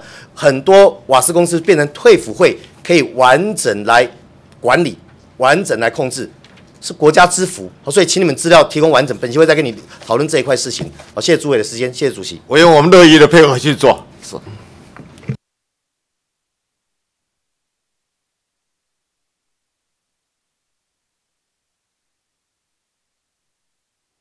好，我们接下来刘世芳委员进行询答。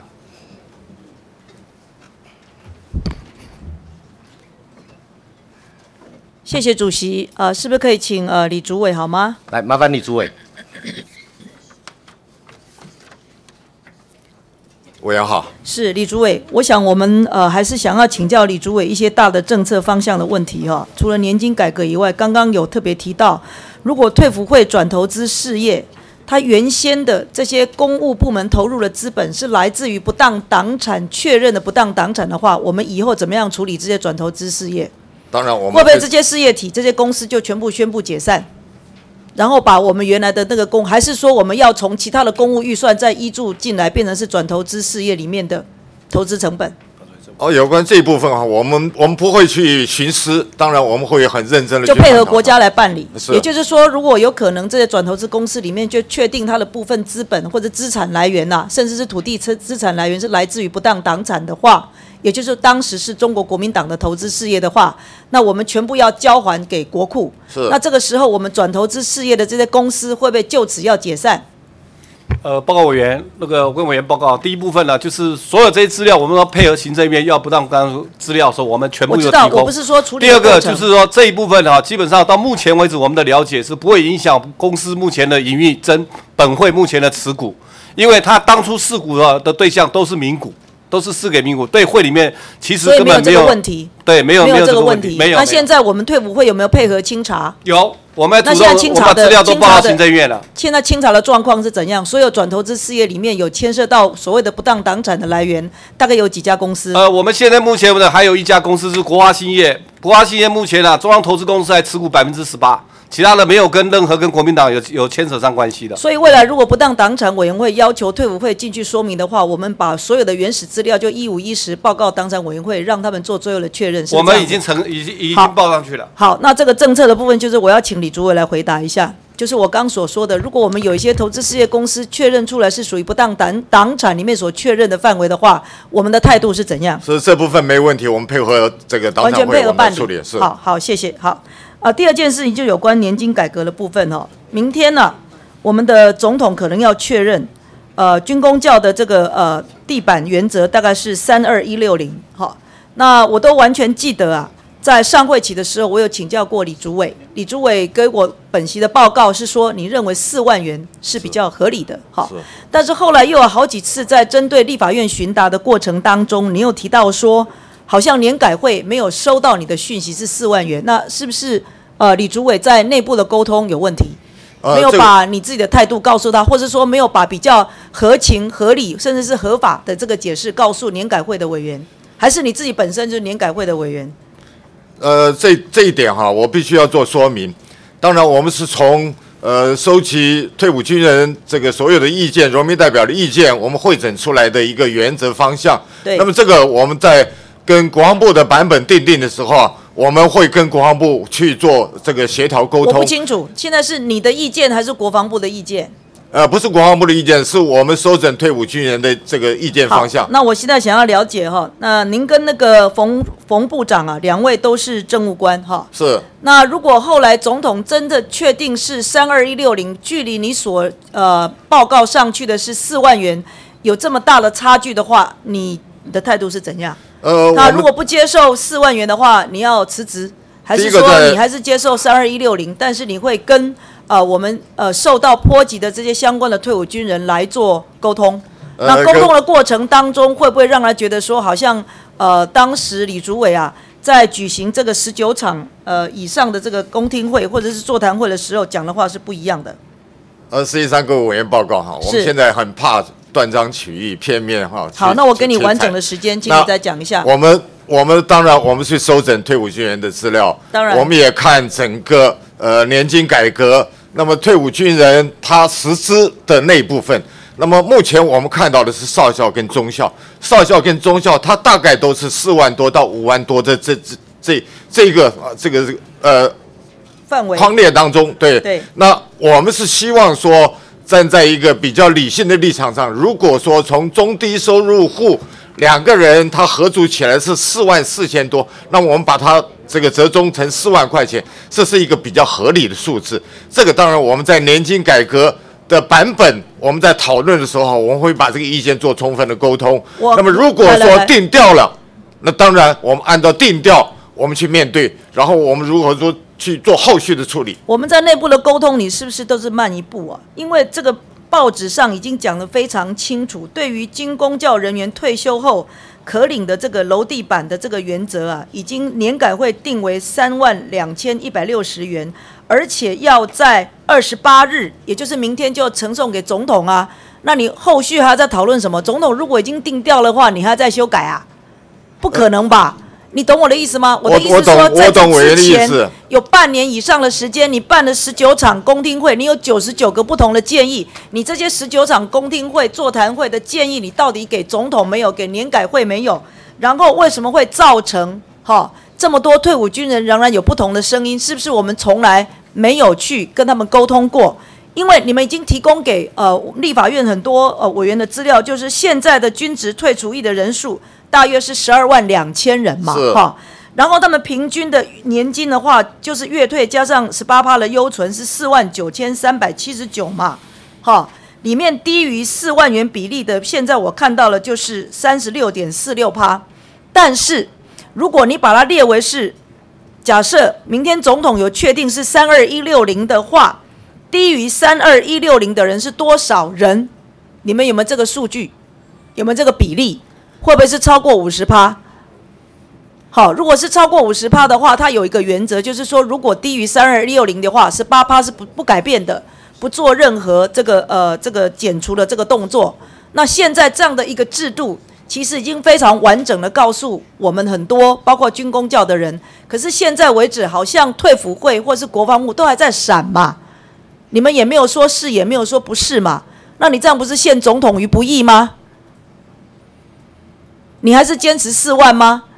还是说总统说了算？因为我听到你在回答很多立委的说法，里面有两种说法，说你建议会四万，但是如果总统确定出来以后，你会多去跟很多退伍军人哈来做沟通。那到底是哪一个版本才是你要的版本？还是现在的版本都没有定？所以我们都还在沟通的阶段。那你只是要不到二十四小时沟通啊！明天早上我们总统就要定案了啊！但是军人跟公教是切割的啊。那报纸就写错的喽。报纸写军公教月退地板是三二一六零，你的意思是说公教三二一六零，军人是四万，是这样子吗？军人到底是多少？现在还在在讨论。所以我在问你说，有没有参与年金改革里面跟退伍军人有关的？你还没有，你不要闪啊！你不是今天打就是明天打，最晚就一个月以后要打嘛。你你闪有用吗？没有用啊！我就是要问你的想法是怎样啊？我没有闪，我也没有去参加现在要讨论的那为什么没有。请你去参加啊？为什么没有请你去参加？你是退辅会主委，未来有关于年金的发放，这些所有的程序都是要由退辅会来负责嘞。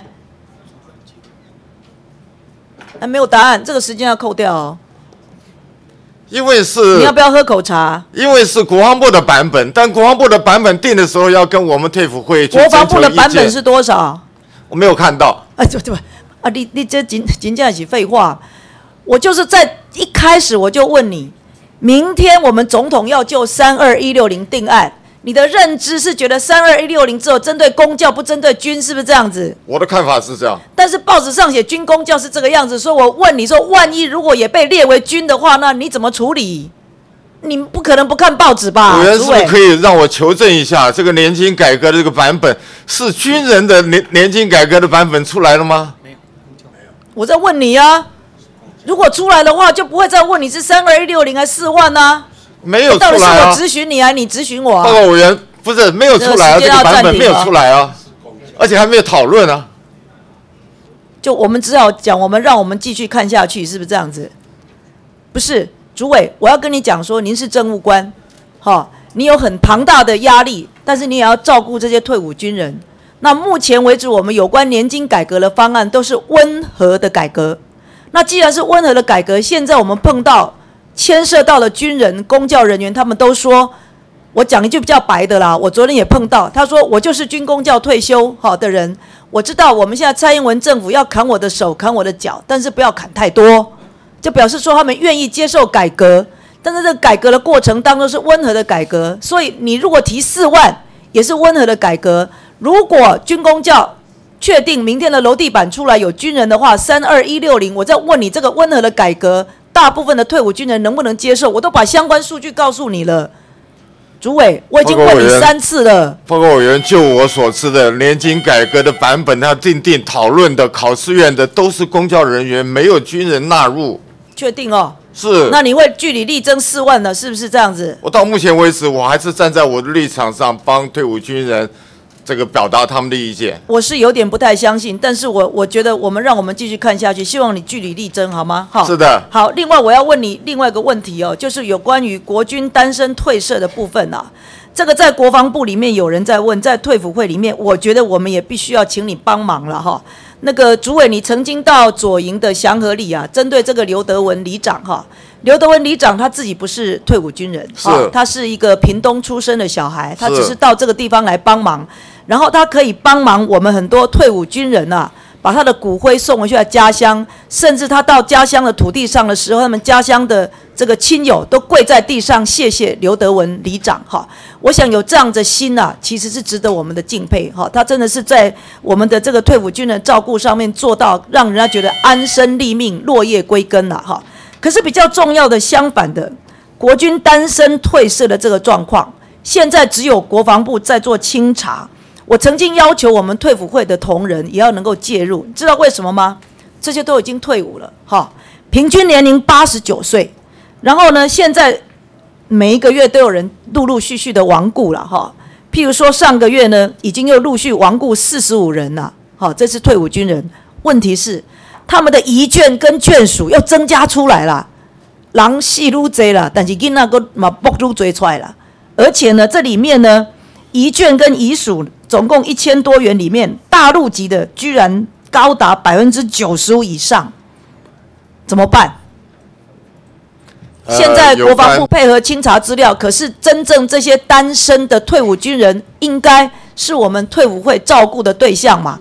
怎么会让他们流落在外面，然后国防部就不想管，那退伍会也不管了，变成两不管地带呢？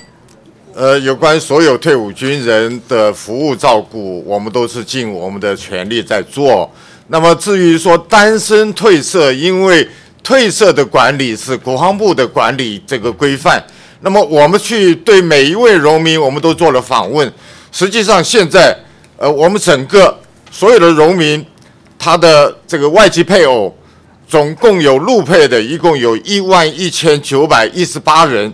那么这些我们整个片查了，一共有八十八位，他是没有居住在一起的。我我讲的不是只有单身宿舍，是。那么这些没有居住在一起的，我们都予以关怀。那么当然，有的农民是站在一个说，他有人就是有人照顾我，但是呢，我们怕那是一个假结婚真诈财，所以说呢，我们在这里面我们去介入，去整个去了解状况。如果说他真的有感情不不睦，而且不居住在一起的时候，我们会请移民移民署当地的专勤队。他去纳管，那么未来他要申请这些路配，他要申请继续居住的话，我们都建议他予以驳回。去年我们针对这些案子，一共有十二个案子，我们全部都建议移民署驳回。那么这些我们持续都在关注，好，而且最重要的是保障我们农民的权益。主席给我三十秒的时间了。第一个，你们对于退呃退社或是这单身的那个退伍军人的话，退伍会管人是不是？然后退社就让国防部来管，是不是？你们已经分好了哈？因为三十号的时候国防部要开会，把它弄清楚。还有一个，这些单身农民的遗眷遗属，他们所用的保险是谁的保险？是不是退伍会出钱？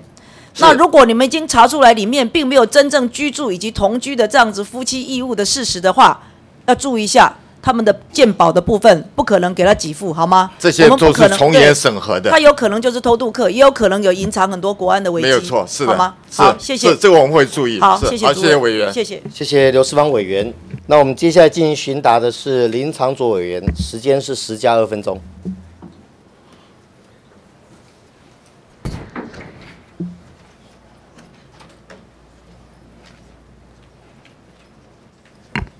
我们请呃主委来，麻烦李主委。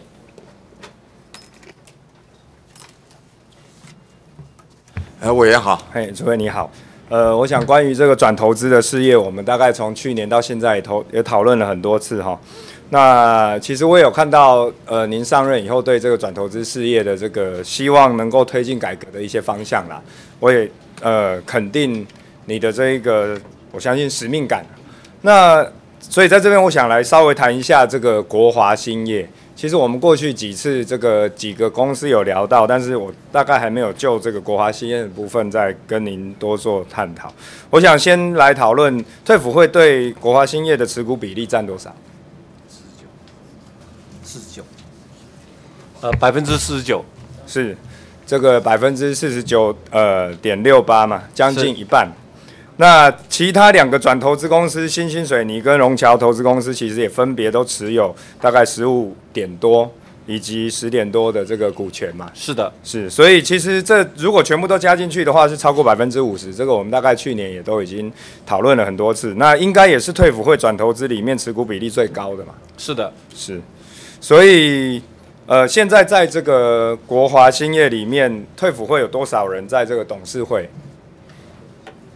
呃，国华兴业里面，我们现在有有三席，呃，跟着有四席，但是目前为止是两席空缺的。我们实质上是有两席董事。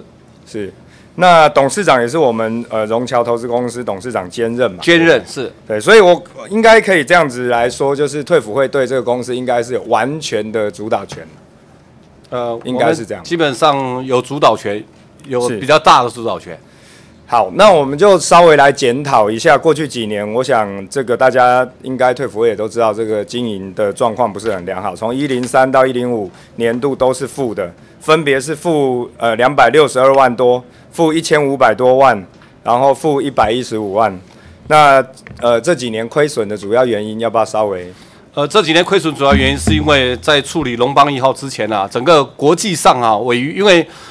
其实国华海洋公司以前是个尾鱼专门啊捕尾鱼的公司哈，那后来随着那个政策的改变以及啊整个渔业市场的不景气、油价的高涨之后呢，陆续处分了很多的船，那最后只剩龙包一号。龙包一号在一百零四年处分掉，处分原因是单船啊是不可能去捕尾鱼的，尾鱼啊是要有个群聚的效应，然后像世界各国。阿根廷或是加拿大或是南非，他们都是透过飞机或是卫星来定位导航，然后鱼探完了之后才来围捕动作。所以基本上国华仅剩龙邦一号是没办法处处理这个事情。因此啊，我们为了停止啊，为了减损它的亏损了，我们毅然呢把最后一艘船给它卖掉。所以之前呢，所有的亏损都是因为这样子引起的。所以我想主要是提到这个远洋渔业的这个环境的问题了哈。那我相信，其实如果有稍微关心一下这个远洋渔渔业的这个问题的，应该也会发现说，其实整个这个台湾远洋渔业面临这个困难，也不是只有，呃，我们这个国华兴业嘛。是的，对，大概在这个媒体上面也都可以看到，啊这个几个我们重要的这个远洋渔业的这个企业，台湾的企业也都在寻求这转型的这个努力啦。我相信整个大环境都很困难，所以我才会在这边特别要在。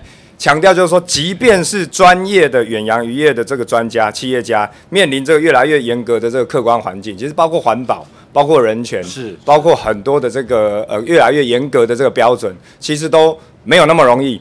更何况我们自己国华兴业在几年前还没有开始决定转型的时候，其实我们稍微也有去做过这个调查。我想要来请问，二零零六年到现在的这个雷光树、葛葛光月。然后王明义、撒小云，再到现在的谢正董事长，其实应该没有任何一个人是远洋渔业的专家啦。是的，是，所以我想这个也是我们过去几呃两个会期以来，大家一直在讨论怎么样让我们转投资事业变得更专业。因为其实我刚刚再一次强调，就是远洋渔业大环境不好，大家都知道，越来越严格，大家知道，即便是专业的企业家。现在都在寻求这个转型，啊，他们的整个这个利润整个都大幅的下降，呃，甚至于也都面临很多很多的困难。那更何况我们是用不专业的在这个经营，所以在这边，呃，我想请问一下，那所以既然已经面临了这么严重的这个亏损，我们的这应应的方式是什么？我知道是已经有在转型，但是要不要比较具体的来说明一下？呃，第一个我们大概朝几个方面，第一个就是我们把那个公司啊做整个的那个股。那个股股本的重整哈，那第二个就是我们聘了专业经理人之后，我们希望借由他的专业啊，能够在电子流通业以及其他的这些领域里面，能够啊，能够多角化的来经营，然后扩大公司的利润。但是这个过程当中，我们会里面的董事啊，对公司啊的监督啊，我们会非常更谨慎，而且我们会授权比例啊会更低，因为我们知道我们委托了专业经理人，但我们要兼顾到国家的权益，以及啊，公股的所有每一分钱都是国库的钱。是，所以这部分我们不会失职的。我想这个我有这个大这个应该说稍作研究就知道说，其实已经也有努力试着可不可以标售了。那两次都流标嘛，那这也是很正常。就像我刚才讲，这个如果这个公司前途渺茫的话，你要找到有人愿意来接手来投资，应该也是很困难。那所以现在开始在思考转型，所以我才在这边想要再次再一次提醒，其实一个公司哈，不管从之前经营远洋渔业，或者说接着你想要经营新的，它都是需要一个专业的经理人，包括董事长在内。所以，呃，这个谢董事长从这个兼任至今啊，是不是我们还要继续用兼任的方法让他继续做下去，或者说能够有一个更专业的来去体检？我们这一个公司到底，因为你适合转型做什么，这也是一个专业。一个公司本来的部分它不在行，但是它现在有怎么样的人才，有怎么样的资源，适合转型做什么，这其实又是另外一个专业。那我们只是用龙桥来的这个董事长来去兼任，我觉得我有一些疑疑义啦。那也会希望说可以朝着比较专业的方式去考量这个问题。呃，谢谢委员哈。那个龙桥的谢董事长现在目前兼任国华兴业，考虑的是人事成本的问题哈，因为公司正在转型，获利还很低的时候，如果贸然再聘一位董事长的话，一年大概会侵蚀掉整个的获利很多。但是等公司那是因为我们现在是用收租嘛，我们的收入非常没有。我们现在季总经理他的他最主要的贸易是电子贸易，就电子零件的贸易哈。那等公司的这整个的那个经营发展了，到了起色，而且公司建有制度之后，我们会回归到聘任一个专任的董事长，而是不再。在兼任，目前呢是人事成本的考量。第二个就是公司监督的的的考量，所以我们现在是用兼任的原因在这儿。是，我想这个要设一个停损点啦，是就是说，如果我们这几年看起来还是没有起色。原本的不在行就算了，我们这个也不可能一直追究。但是新的想要转型的这个方向看起来也没有什么起色的话，必须要有个投资呃停损点，要不然我们就会一直停留在说为了省钱，所以我们不要再请一个专业的。但是你为了省钱，结果是继续亏钱，这样也不对嘛。所以在这边我呃我们这个新的这个管理办法里面，对于绩效不佳的这个董监事，其实比较没有明确的这个规定。所以在这边我要给主委一个建议，那也希望可以回去稍微再。严拟一下，就是我们相关的规定，最高是这样写：绩效欠佳，经年度考核评定为丙等者，停监董监事一年；如其兼任两个职务以上者，停监其受考核评定为丙等之投资事业机构董监事一年。其实要被打丙等本来就很难了，这本来就很难。那而且停监一年，一年等于那一年对公司都没有任何的帮助啦。所以我在这边要具体的建议，就是希望因为。就如同刚才我们在讨论，这其实每一分钱都是国库，都是纳税人的钱来转投资的，所以还是会希望可以比较具体的这个参考企业界对于他们董监事的这个考核的制度，要不要撤换？应该有一个停损点，要不然我们刚才讲的这样子有点笼统，那那个笼统到你要真的达到丙等也没那么容易，所以怎么样子的一个这个原理，希望可以有一个比较具体的方案，那参考企业界一般民间企业界会怎么去处理？呃，我们同意委员的说法。实际上，我们这是一个呃制度修正的过程。那么，当然，我们这个评核表它是一个重要参考依据。但是呢，我们的评选小组的综合评估那是一个另外一个参考。当然，我们在制度的修正过程之中，我们会把呃相关的意见我们纳入，我们在做这个完整的考量。我相信，在今年的这个试验期当中，我们可以看到更好的方向，跟后续的精进作为。我刚刚讲的就其实是在参考这个，你一方面让他不要失血那么快，是，所以我们想说省钱，但是有的时候你是要把它专业化了以后，让这个公司变成会赚钱，多不待机呀，对吧？你这边慢慢让他失血，最后也是要倒闭呀。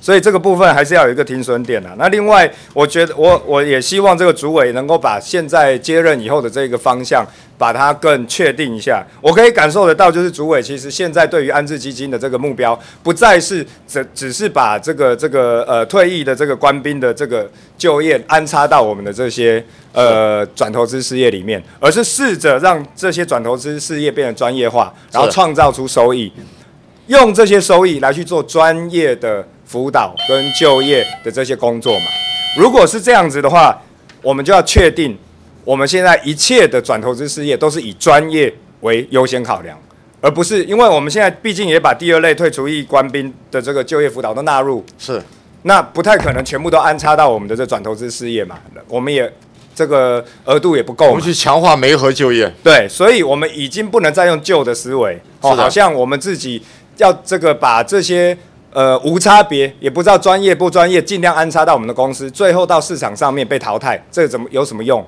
我们应该是把这些转投资事业弄到赚钱，再用这些钱来做专业的辅导跟转职的工作。我相信这个应该是主委现在的这个目标。那如果是这样子的话，我想刚才我说的这个怎么样把董监事这个经营的这一些呃阶层的人，用比较严格跟有勇气的态度去定定出一个撤换的标准，我觉得就要有，要不然我们就会在旧的思维跟新的思维之间一直拔河，拔河到最后就是一直在失血而已。所以既然主委也认同我刚才讲的，我们现在新的退辅会的方向，在这个呃转投资公司上面的这个宗旨是这样的话，专业就是优先考量。是的，不专业的董监事怎么样策这个策换，我们就要有勇气的一个这个作为。所以这边也希望主委在这个部分给我一个比较清楚的，可能呃我们经过这一年的这个检讨以后，我们可以有怎么样子精进的这个方案再给我。可以，没有问题。是的，谢谢主委。好，谢谢委员。呃，谢谢林长佐委员。接下来进行询答的是许义仁许委员，时间十加二。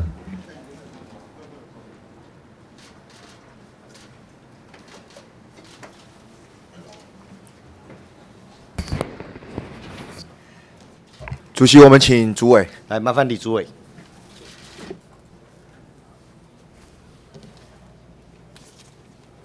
委员好，呃，主委好哈，主委想请教一下哈，呃，我看到今天来开会的这个我们这个退伍会转投资的公司哦，我看到有几家公司，他们就是呃新兴天然气公司，就是呃董事长没来啊。哦，跟委员报告，因为呃我们参加瓦西公司跟日本交流的一个合作规划，那么这这这几位董事长或者总经理啊，他已经在日本，那所以说呢，我们请代理人。哦，那这个是什么时候什么时候决定的？而是三月二十一号，他们已经出去了。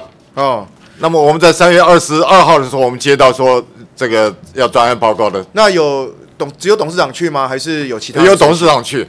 那有没有有没有家属随行啊？啊，没有。那呃，就只有董事长一个人去，是不是？是。好，OK，了解。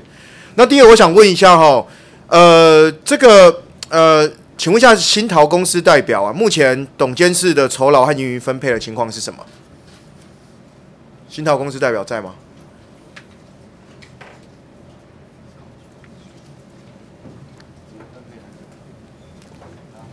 这个我来报好，他们请备询人员尽速到讲台上。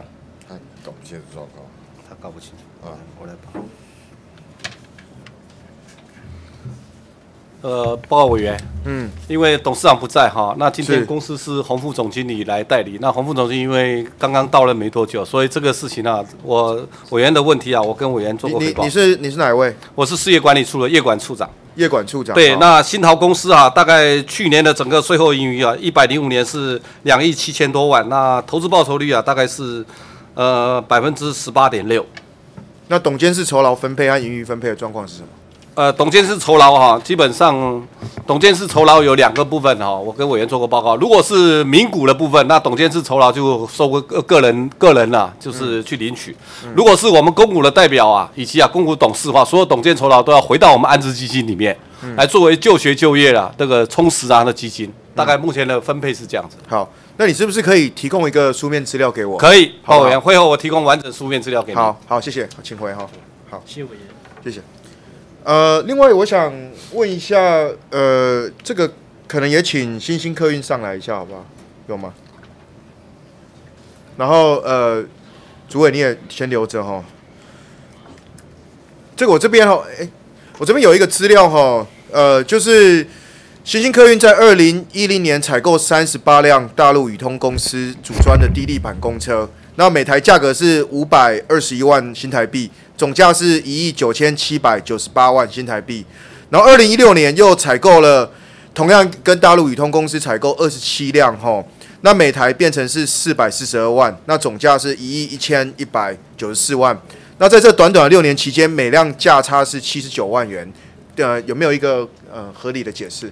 呃呃，特别向委员报告哈，那个民国九十九年的时候，刚好就是第一批引进了这个宇通公司，那么当时的价确实是呃您刚刚所提的五百二十一万，嗯，那从当年度以后，呃，推普会就成立了，由我们跟大南公司成立了联合采购，嗯。所以从当时的采购价一到一直到这个您刚才所报告的一百零五年，那么一直降到每年都有是联合议价的方式，所以它每年的价这个价格都有降低，这就是从会里面采取联合这个采购案以后，那么所获得的效果。那接下来未来的一年内还有采购的这个计划吗？有有，那今年的就是总共有呃是五十辆，但是低地板的有三十四辆。那目前今年的采购，那么跟大南已经完成议价是四百四十万，呃，四百四十万，一比去年是四百四十40万。好，那这个部分资料你也可不可以也给我一下？是就从呃二零一零年到二零一六年，然后还有今年的采购的金额和数量，是好不好？可以尽那个尽快提供给我，是的，好不好？一一一一周以内可以吗？是的，可以，可以的。好，谢谢，好，请回，我们请那个主委。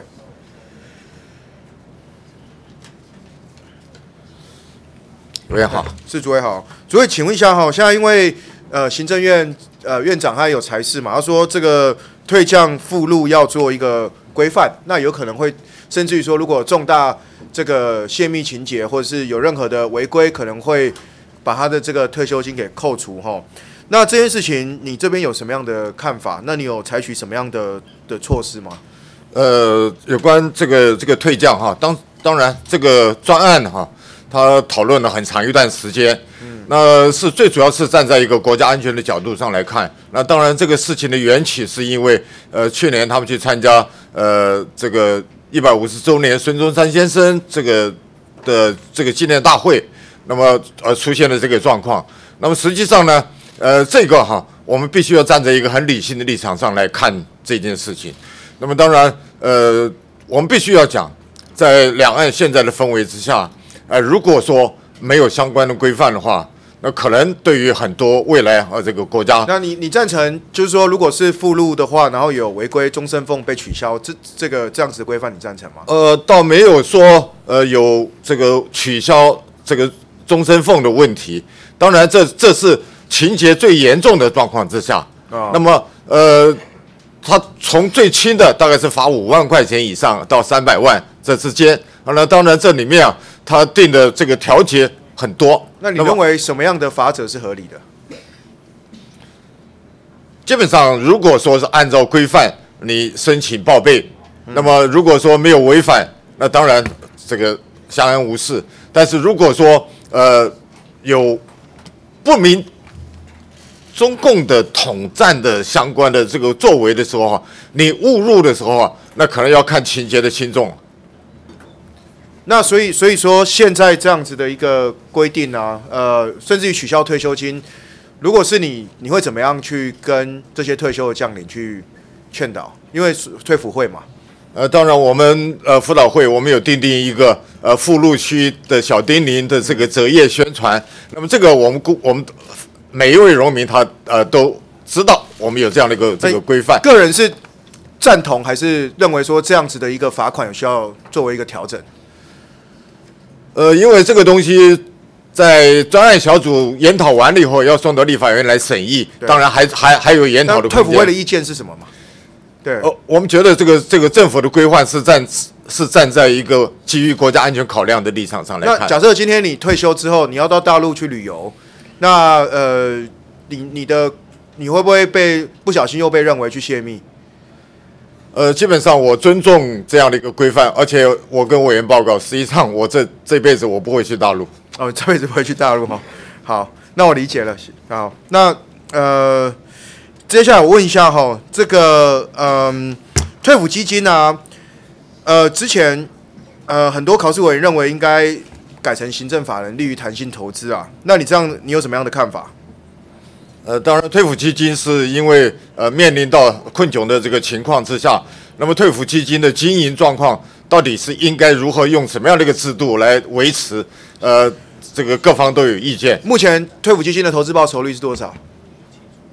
呃，这这段我并不是很清楚。哦，你不不是很清楚，是不是？那是那你认为，就是说，如果如果法人化之后，那退辅会关系隶属应该还是继续放在国防部吗？还是放在行政院底下？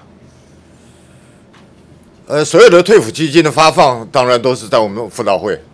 哦，那所以你就是不赞成他呃，就是法人化这样子的一个想法？呃，当然要看制度如何来修正了。当然也可以有很多参考的空间。那现在我们有收到很多不同的资讯，在这个制度的这个定定上，好比说这个这个中央校友会，然后他提供给我们一份资料。美国对于这个退抚基金呢，它是有三层保障。第一个就是你这个这个呃参加社会保险，第二个是你退抚基金的强化，第三个是你从贸易保险的这个角度上，你来保障这个这个军人这个退伍基金。当然，这都是一个参考的方向。那么未来到底如何去强化这一部分呢？那个我们知道，在可能最近要开始处理年金改革的问题啊。那么呃，可能我们就是会把公教跟军分开嘛。那退伍基金这一块，你自己有没有什么样的一个一个立场想说明？因为政策的制定在考试院，对。那实际上，如果说我们可以提供意见，当然我们很乐于把相关我们收集到的资讯我们提供出来。那你认为以现在的的状况来看的话，呃，怎么样定一个？合理的对于军人这个年金改革的这个部分，是认为会照顾到军人退伍退伍军人，然后又会符合社会公平正义。你的你的方案是什么？呃，我们这个在这个过程之中，当然我们征征求了。呃，这个全省各地农民代表的意见，我们也去这个拜访了退伍军人社团。那么，有没有一个方案？目前准备？那么目前我们已经把这个相关的这个意见提供给联改会，但是呢，这里面有一几有几个比较重要的原则，就是。有没有你的意见？呃，给我讲三个重点好不好？你你的意见里面三个重点是什么？呃，当然。就是第一个，就是你呃这个一定要有楼地板这个原则。第二个，这个军人因为特殊职业，那他必须是跟公教切割的。第三个，过去的制度不完整，必须要去调整制度。那这个，好比说他延长服役，那么这些都是在原则范围那以军人的方案来说，所得替代率你认为是多少才合理？呃，这个目前在在研讨之中，我想我们不便去呃就这个精准的数据我们来表达。你呃这个。军人版的这部分，呃，退伍会预计什么时候提出？呃，当然，我们我们会这个替退伍军人，我们做完整的表达。那呃，大概会有什么样？会有时间点？会有自己的方案？会吗？呃，如果说你把这个这个提拨率跟替代率，你去做一个这个平衡的这个调整，当然这是必要的了。嗯，那你你我刚刚问到你说，目前退伍基金的投资报酬率，你这边没有数字是不是？呃，因为这个是从从头到尾全序部，他在这个，那你呃，那所以你你你你你没有掌握到目前退伍基金的一个 performance 状况吗？可以这样说，目前目前目前在我们我们分内，我们没办法去。好，那你你认为，因为你现在是退伍会主委嘛，你认为退伍会基金现在透过考试院，无论是全序部，他在操盘的状况，你觉得是 OK 的吗？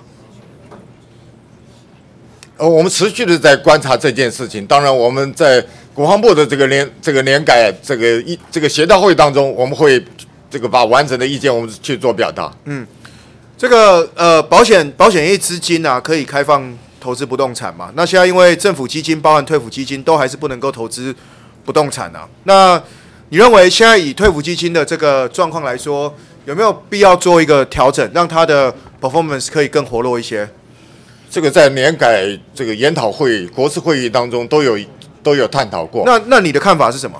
呃，基本上我们觉得，如果说是从合理的架构跟这个呃适当的这个投资，那是所以你是赞成啊？你赞成说退抚基金松绑可以做多一点的呃多元性的投资运用？基本上这是一个可以讨论的空间。OK，投资房地产你也赞同？我们我们没办法去探讨到这么细。那你赞同一个比较弹性的？但是在原在原则上，怎么样去活化这个退伍基金，它可以有的发展空间？我们觉得那是一个好的方向。好，谢谢。好，谢谢委员。好，谢谢徐玉仁委员。我们接下来进行询答的是庄瑞雄庄委员，时间十加二。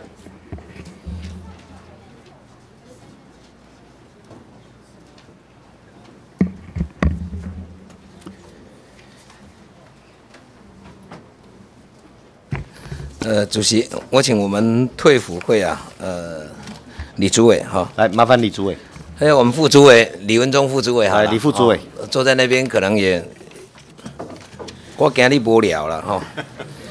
我先来请教一下那个李主委了哈。其实今天大家在探讨，呃，整个我们退伍会啊，针对这一些转投资的一个事业啊，它的绩效啊，呃，这个部分我相信大家非常关心。那我先请教一个问题，我想这两天大家一直在探讨说整个产业的一个替代役啊，哈，那这个部分呢，社会上有一些批评，在野党啊、他当然基于政策的一个方向，他提出了监督，甚至于有一些啊，可能有一点臆测，但我觉得那个都很合理啊。主委，你干过总司令，干过国防部的副部长，跟公安局局长，我相信你接触的在部队时间非常长。那你对于这一次我们的内政部议政署啊，这样提出的一个政策啊，你赞不赞成啊？替代一男呢这样做？呃，跟过去的国军形象落差是不是非常大？我觉得，你提到这个问题啊，其实它牵涉牵涉面确实是非常的广，当然值得我们我们我们高度的重视。过去我在担任陆军司令的时候啊，呃，我曾经在成功岭，我也去了解替代役他的训练实况。那么当然，替代役的训练，它是要让他去能够接这个接轨社会上各行业。那么从这个角度上来看，如果说他的训练课程跟他的这个训练水准能够达到某个程度的话，扩大替代役它的运用效率，那是一个值得的空间。就我们辅导会的立场上来看，我们现在所有的替代役，当然你要进入我们辅导会之前，我们也有一个职前训练。那么就我们现在所有的替代役的同仁，他在担任工作，经过这个职前训练，我们在实况的验证当中，我们觉得这个替代役在我们辅导会，它的适用率大概是百分之八十五以上。你撸共了撸闹亏，我为什么请我们副主委上来？因为事业部门啊，啊，李副主委这部分才要你有督导了哈。内政部叶部长今天在内政委员会的，他也指出了，他说啊，其实整个替代役这个部分呢、尤其是产业研发啊，或者说啊除训役，这个都是在储备管理的人才了，这个通哦。如果说让我们的役男他在服役的期间去跟社会有所接触，然后让他离开部队以后啊，可以跟这个社会来做一个接轨，然后又养成了啊为国家、为社会培养管理的人才，本席深表赞同。但是呢，这个李主委你刚提到的，哇，你刚刚尾三尾税给他讲一堆，但实际上落实真是如此吗？我为 PTT 来对讲到了。来对甲讲，恁伫恁恁退伍会当中替代意义栏里面收了几个？你知不知道？有人知不？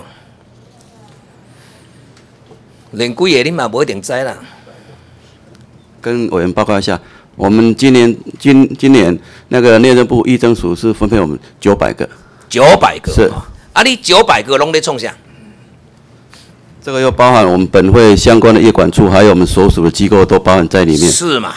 那跟刚你们主委所之所跟你们提到的，先做一些职场训练呐、或我搞训练的喝水啊，投影你们的相关的啊，你们觉得好像是告诉社会大众是财是所嘛，对吧？哈？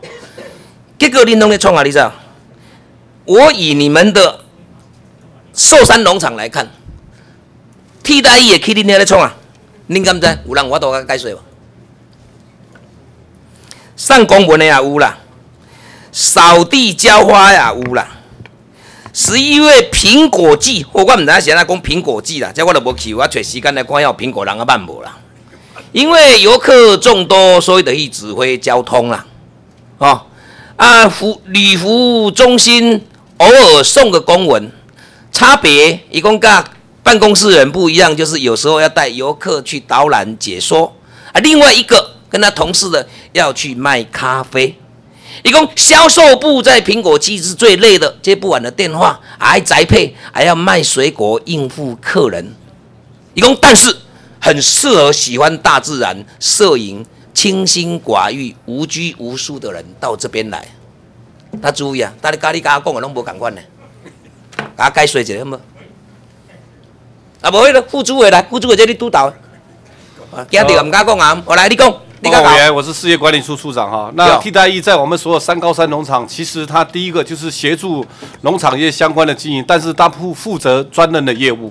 第二个，也诚如其实我们刚刚我们主委讲，我们透过这些啊，这些年轻学子啊，毕业之后到那边学习了之后啊，他可以第一个了解我们农场经营跟我们饭店旅业的经营管理。所以说，我们很多的人才都是相关科系毕业，我们把他遴选。参加比有人敢甲你即摆讲的，这还到一笔。报告委员，其实啊，一个人才的养成训练是多管道、多方面的，也不是说端咖啡他就没有学习。通通通，这个我比你还会讲，但社会上的评价就叫做廉价劳工啦。啊，你知唔知啦？你有读册我知啦，那你这个叫道理呀、可是评价的是我们一般社会大众啊，不是你改讲改好嘞，改对嘞。清境农场恁叫去遐创啊，你知唔知？收门票。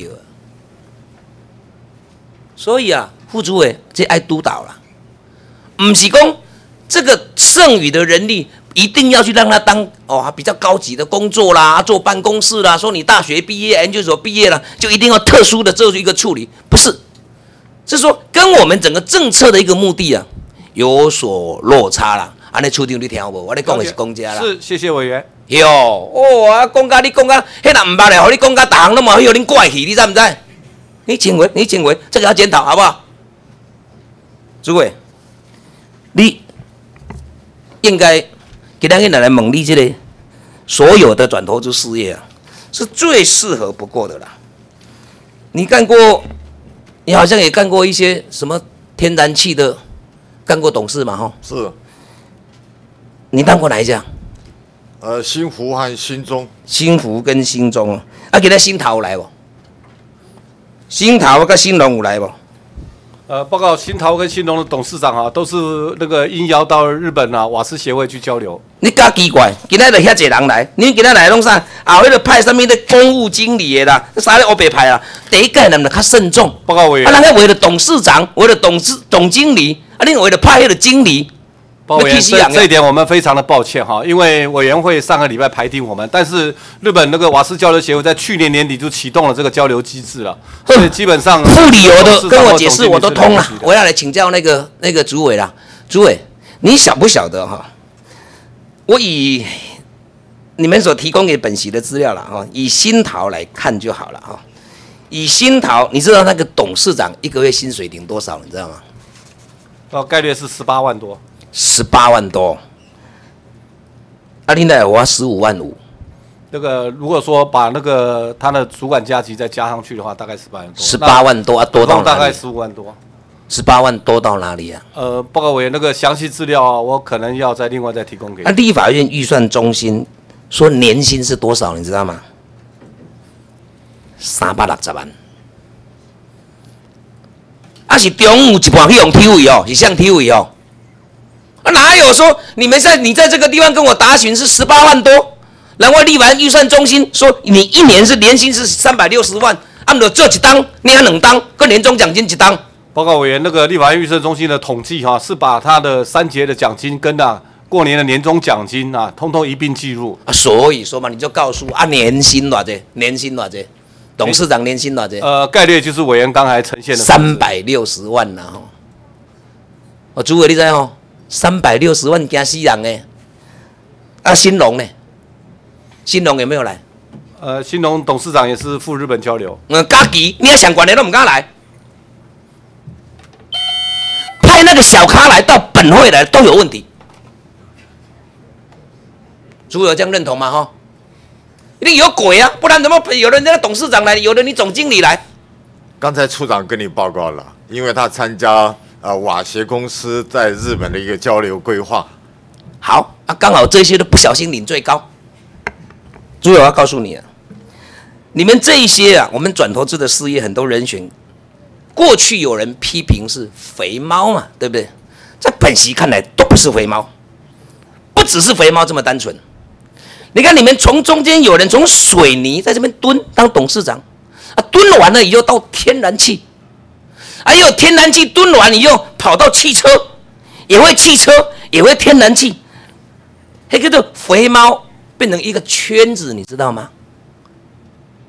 哦，主委你听有无？肥猫圈你听有无？轮流啦，假后到修补了，这个不对啊！之前我相信国会这个地方立法院一直要求你们要取消这些人的优惠的一个存款哦，跟他的月退的部分要暂停，这个部分我们彻底落实了没有？我们彻底落实了。从什么时候而且刚才委员所所提的，我们在上个会期，我们很坦诚的说，过去的人才甄选啊，确实是有我们检讨的空间。所以我们在整个投资事业的制度修正上，我们去做了呃改变。那么现在我们报告的是，我们改变以后，我们这个人才到底是不是适任？它的营运绩效到底是不是有成长呢？那所有呃担任我们投资事业过去，如果说你退了以后，你有领十八趴的优存。都必须签据切从什么时候开始的？然后停从停领，什么时候开始的？从去年的九月份。所以说嘛，政党连轮替还是有这个好处啦，还是有这个好处的。该去改革的部分还是要去改革了，否则那个让社会的观感很不好了。以你上将退下来，一个年瓦杰，你知道吗？卖功力，别的上将一个月退下来领多少？不是李祥宙，别的上将。哎，你也讲没出来，别的，而不是说你。呃，我记得上一次我跟委员报告，因为我没有关心过我的薪水。啊，你关心一下别人嘛，别人他妈多少嘛？上次你会答得出来，那隔了两个礼拜你就答不出来，你骗鬼哦。应该应该是十八万五。十八万嘛，十八万，你把它，你一年要领几个月，你知道吗？还有年终呢，对不对？对不？我要跟你讲的，就是说，如果以过去的上将或者中将，一共减两万块啊。你念不是念十二个月呢？对不对？两百多万，再加这个三百多万，你知道一年领多少吗？六百万。我们所有呃加入我们转投资事业的没有上将的阶级，是吗？我还讲嘛，就是讲减一粒的嘛。本席要跟你讲的，就是说，从去年九月啊，你们真正落实以后啊，稍微一点点改革。之前呢，那真是吓死人了。我从你们所提出来的资料里面，我可以看得出来啊。看这你那会议记录哦，个一本啊，七页、八页。你知道吗？一百零四年五月十四号，我看你们，你看新星，我我我看这个新星呐的天然气的公司的董事会啊，会议记录哇，这你知不知？冷抓两行啊。连临时动议伊都分段写啊，你知唔知？啊，无你嘛安尼散会，佮加一段，安尼佮加一抓。所以从这些会议记录啊，你可以很明显的看得出来啊，这种惊国会甲恁监督啦，居心不良啊，这种爱改进啦，诸位啊，这个副主委啊，这个部分呢，虽然是我们退伍会的一个转投资啊，但是啊。有它的一个历史因素，我们也希望可以创造更好的一个绩效。你说退退休下来退伍的一群将领，我们当初有一种说法，很怕说被买走了，到对岸去买走了。哦啊，基于照顾，基于各种原因，那我们没有意见，你去做一个安置，你去做一个哦，让他去退伍下来以后可以发挥所长，好事。但是。嘛，总是别让甲民间的经营差伤济啦。哦，主委对不对？委员，我可不可以说一句话？好来，两句嘛，好你讲来。我们不要去否定，套人给你否定过去很多制度上的瑕疵，但是呢，我们同学毕业有五百八十三位，只有我一个升上将。我为什么升上将？当然，我的努力，我替国家的牺牲奉献，我不会自己去说，因为别人看得到。但是呢，今天我们这个制度，它确实是在一个比较公平完整的运作之下。你只要是努力，你肯成长，那当然有你的空间。我们从来没有放弃任何一点替国家服务的空间。但是呢，我愿意放弃我所有可以想的权益。为什么？因为我要替国家服务。你的脱稿演出，你现在讲的都是刚好没有退下来的那一段，退伍会讲的就是在讲从退下来那一段以后的事情啦。啊给你改进，你就把你给他发表演说。以前拜托，千万不要看看我现在到底改了怎么样，我的成果在哪里？加油了，好不好？谢谢委员。那个庄委员本会期都会在本委员会看，哎所以你们还很有机会哈。那我们接下来进行询答的委员是吴坤玉吴委员。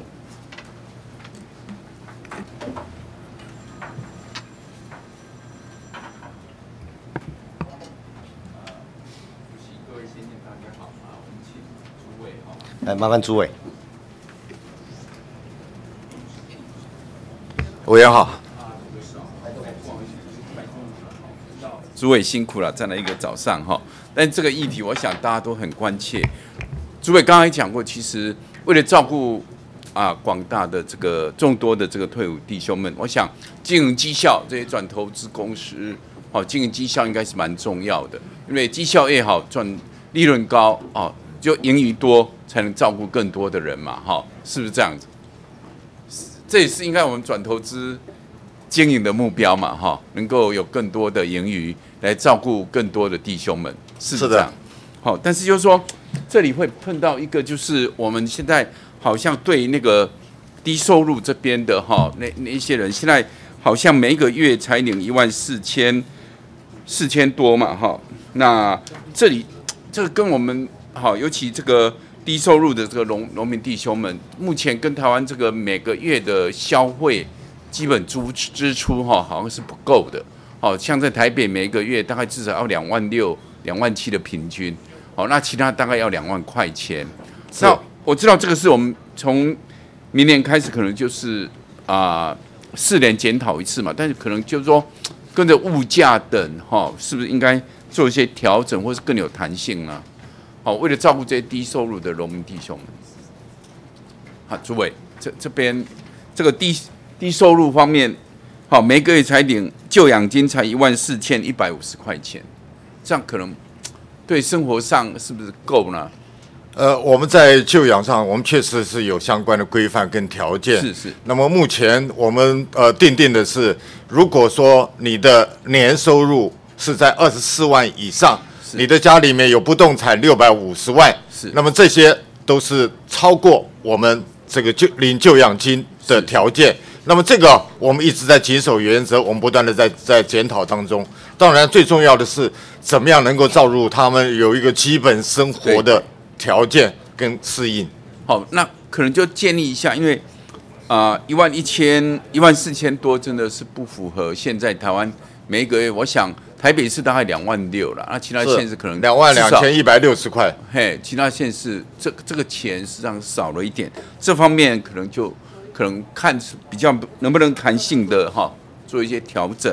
另外当然就是转投资公司了哈，我不晓得哎，杨处长嘛哈，呃杨处长在，杨处长过去我们哈。那个有很多的公司办理的清算，或是经营绩效不好就公开标售。等等哈，但不晓得过去，我不晓呃杨处长来担任这个处长大概多多少年？呃，两年五个月。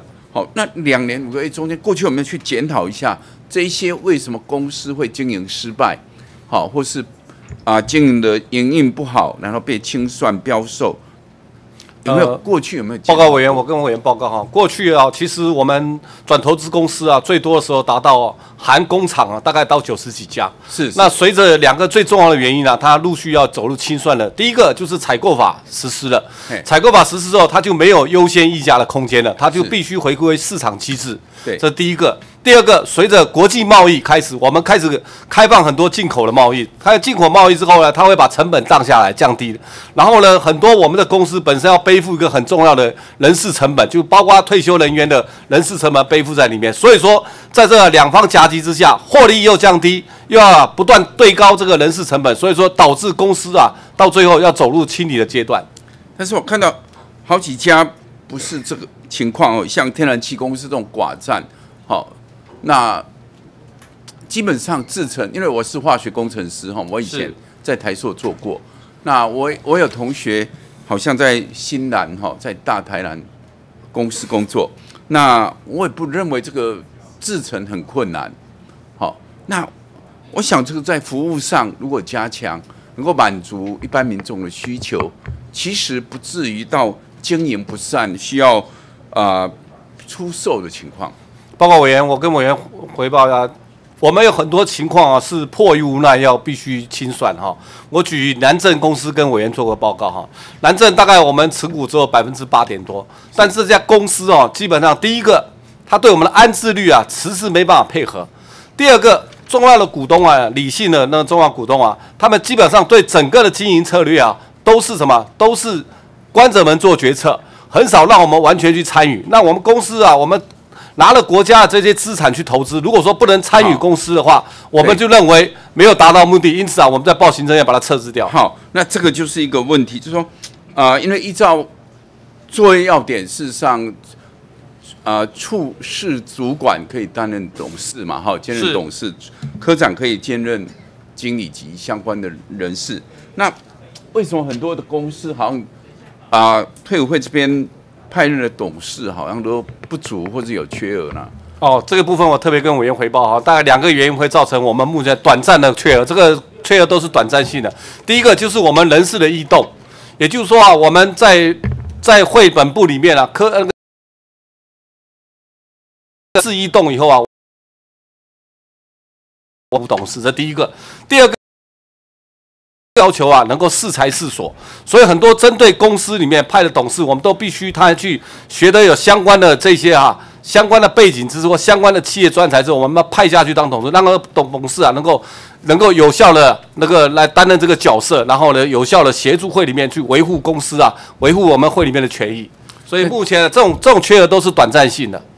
但是这个如果要科长符合相关背景才能派任，有时候真的是很，有时候是不容易了。是那我我建议说哈，其实呃目前啊经管会在推那个啊公司治理的制度，是好、是不是应该加入独立董事？我知道我们这个规模不像很大的公司，但是我们为了让整个投转投资公司绩效更好，其实我们可以引进外来的专业。好、就说我知道在在这个作业办法里面都有强调农民资格嘛，但是我们可不可以有一两位这种独立董事来帮忙我们引进外来的力量？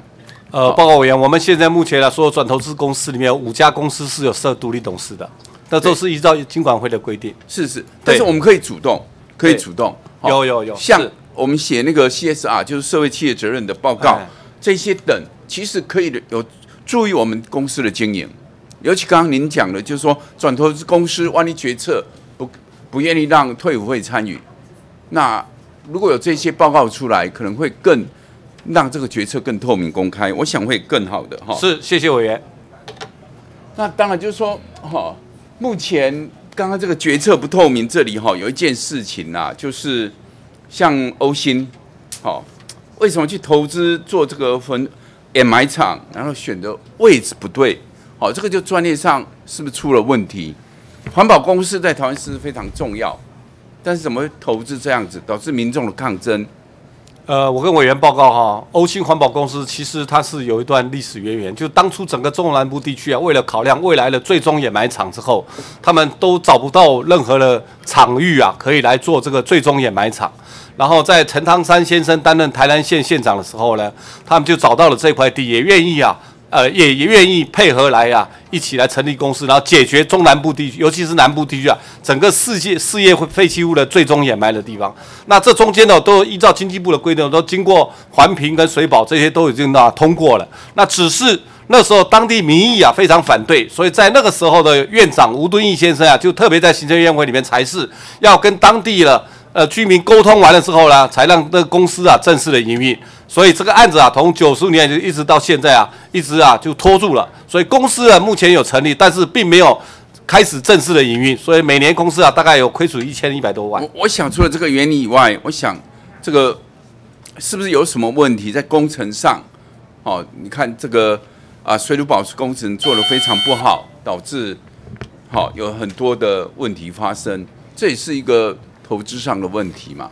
呃，这个这个部分我特别跟您汇报一下哈，其实去年哈，到今年为止的那个欧星环保公司啊，有做当地的水土保持的一些强化的功能，因为那个泥岩地形啊，在碰到大雨之后，它很能够啊那个地形的改变，然后影响居民的安全。那基于这个问题啊，欧星环保啊，在内部有做水土保持，为了这个事情还做了第六次的增资的动作啊。对对但是所有的这些里面都是在啊，都是在我们工业局以及环保署的监督范围之内。我知道，但对就是这个看起来好像工程有偷工减料，是不是？怎么会很快就那个崩塌或是坏掉了？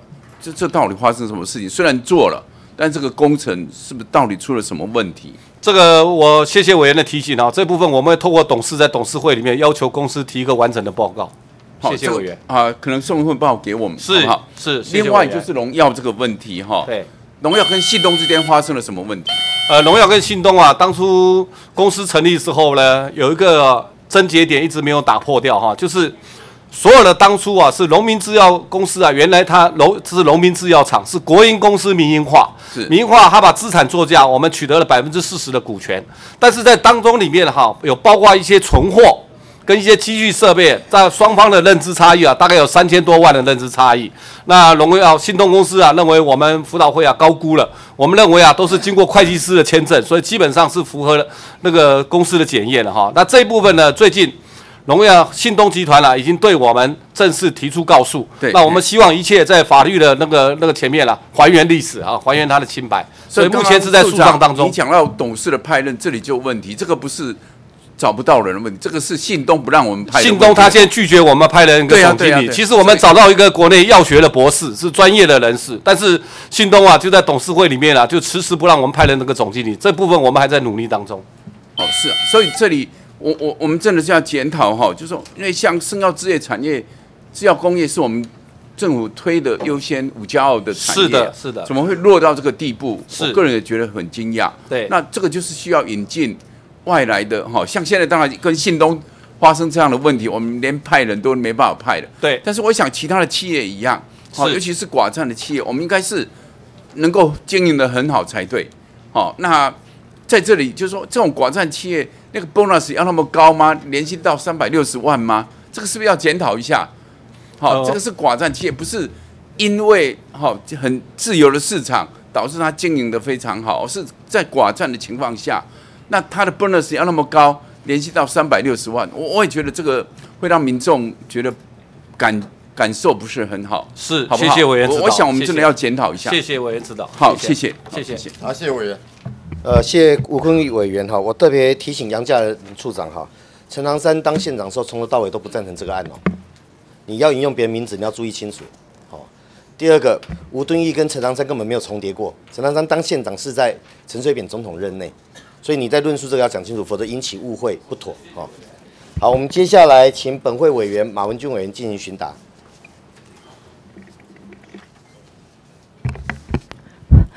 嗯，谢谢主席，麻烦请主委。来，麻烦李主委李主委。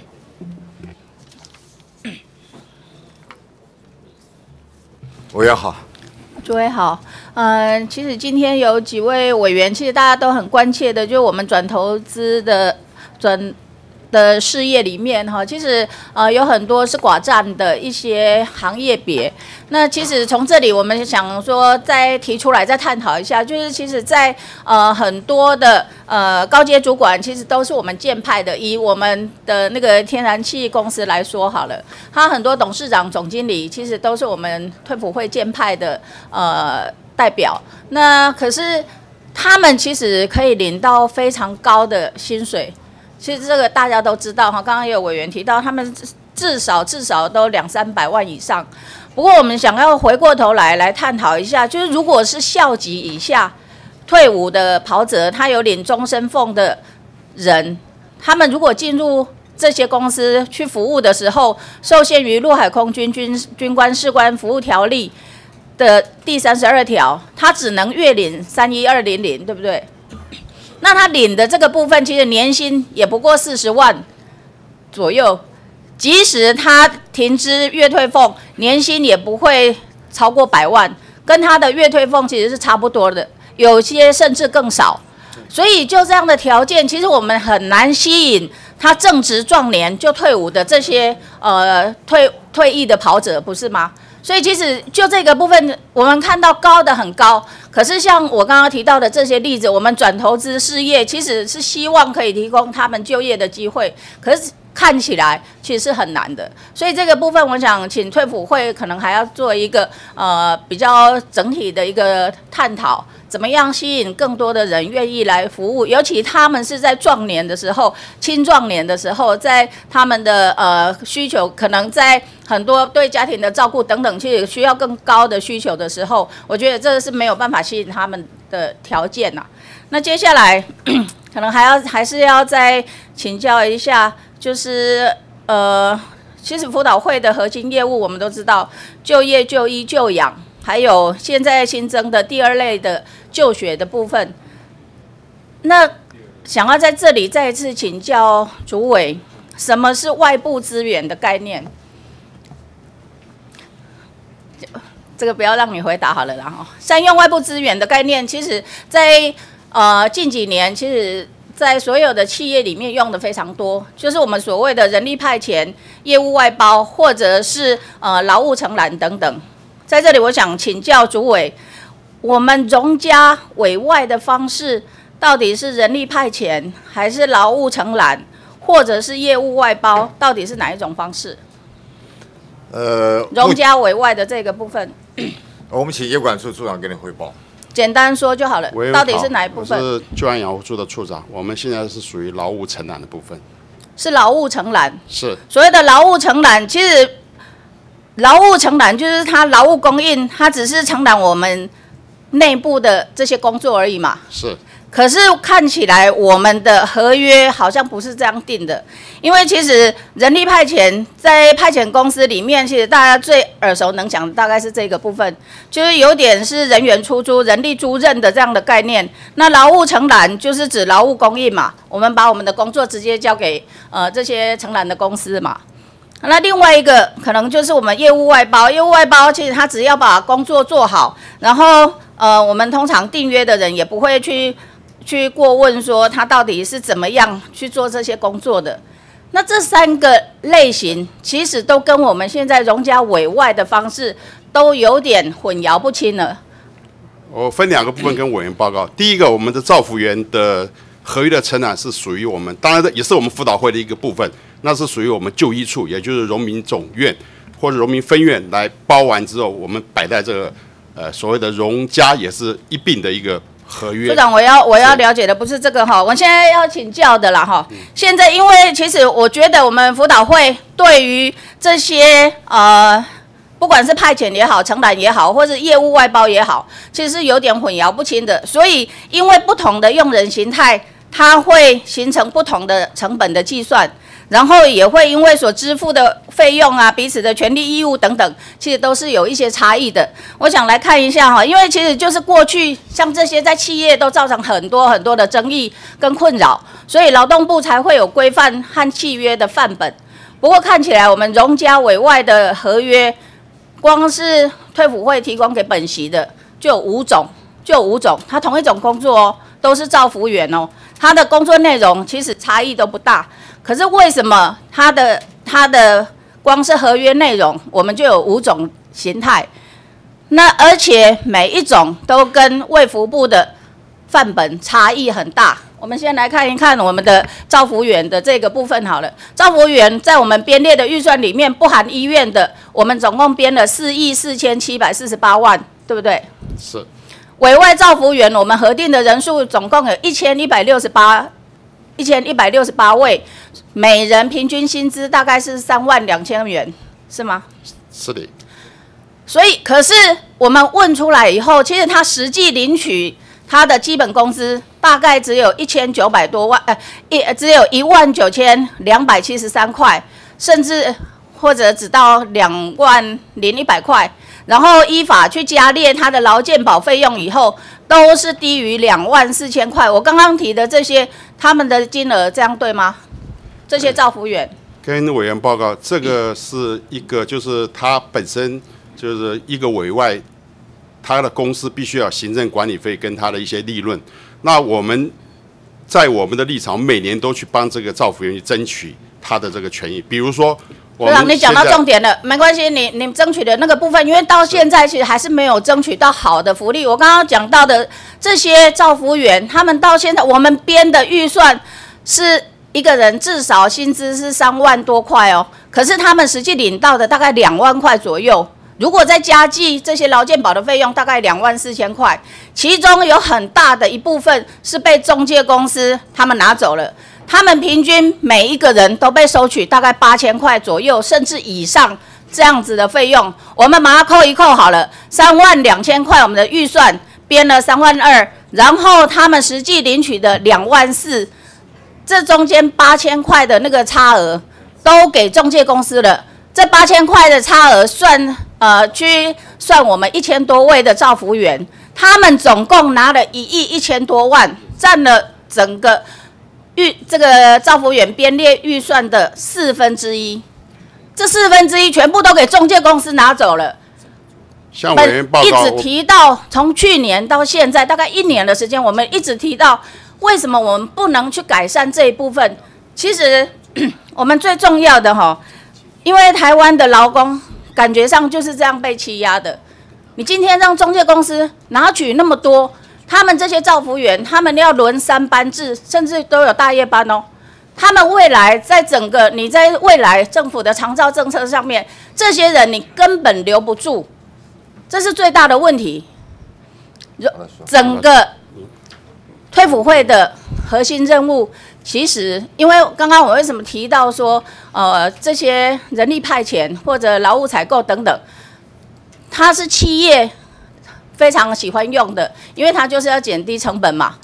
通常他们是把非核心的一些工作才把它委外出去，可是反观我们退辅会，荣家其实是退辅会的一个核心的业务，然后造长照造福这个也是荣家的一个核心的一个工作，可是我们竟然把这样这么重要的核心的业务通通委外出去，照理说这个都是我们自己应该要做的，未来如果有需要，甚至我们都应该要负起照顾的责任。这个部分我们已经讲了一年，到现在提不出有效的方案，而且你把大部分的预算通通给中介公司拿走了。包括委员，呃，非常谢谢委员关心这个问题哈。实际上，我们现在把我们各地的农民之家它所产生的问题哈，我们把它分类会诊，然后呢，我们有一个专案编组，我们现在要跟业者来谈。那么究竟我们在这之间，我们在，尤其是把现在一例一休，还有现在的法令规范，我们通盘起来，我们如何去探讨一个比较能够照顾到我们造福员的作作业模式？没关系你要我们一个怎么做统一的做？法你。要怎么做？我想，因为已经讲了好久，你们一直没有提提给本席是改善的做法，已经讲了一年。刚刚我提到的，我是把它更精确的把它算出来。我们的预算，政府编的预算，本来要照顾这些造福员，而且我们还花钱去训练他们这些专场的哦。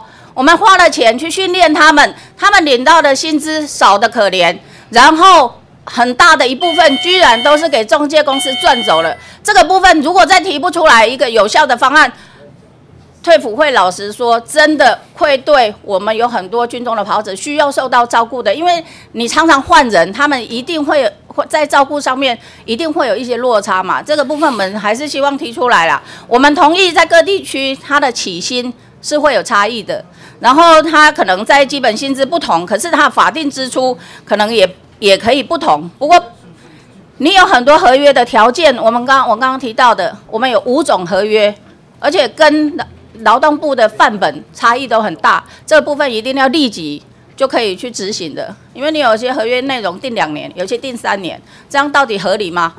我们自己问扪心自问，都都给中介公司赚走了，这样合理吗？我们干脆自己开中介公司就好了啊、一年还省一亿多嘞。这是我刚才跟委员可能比其他的转投资公司还还好赚，还好赚。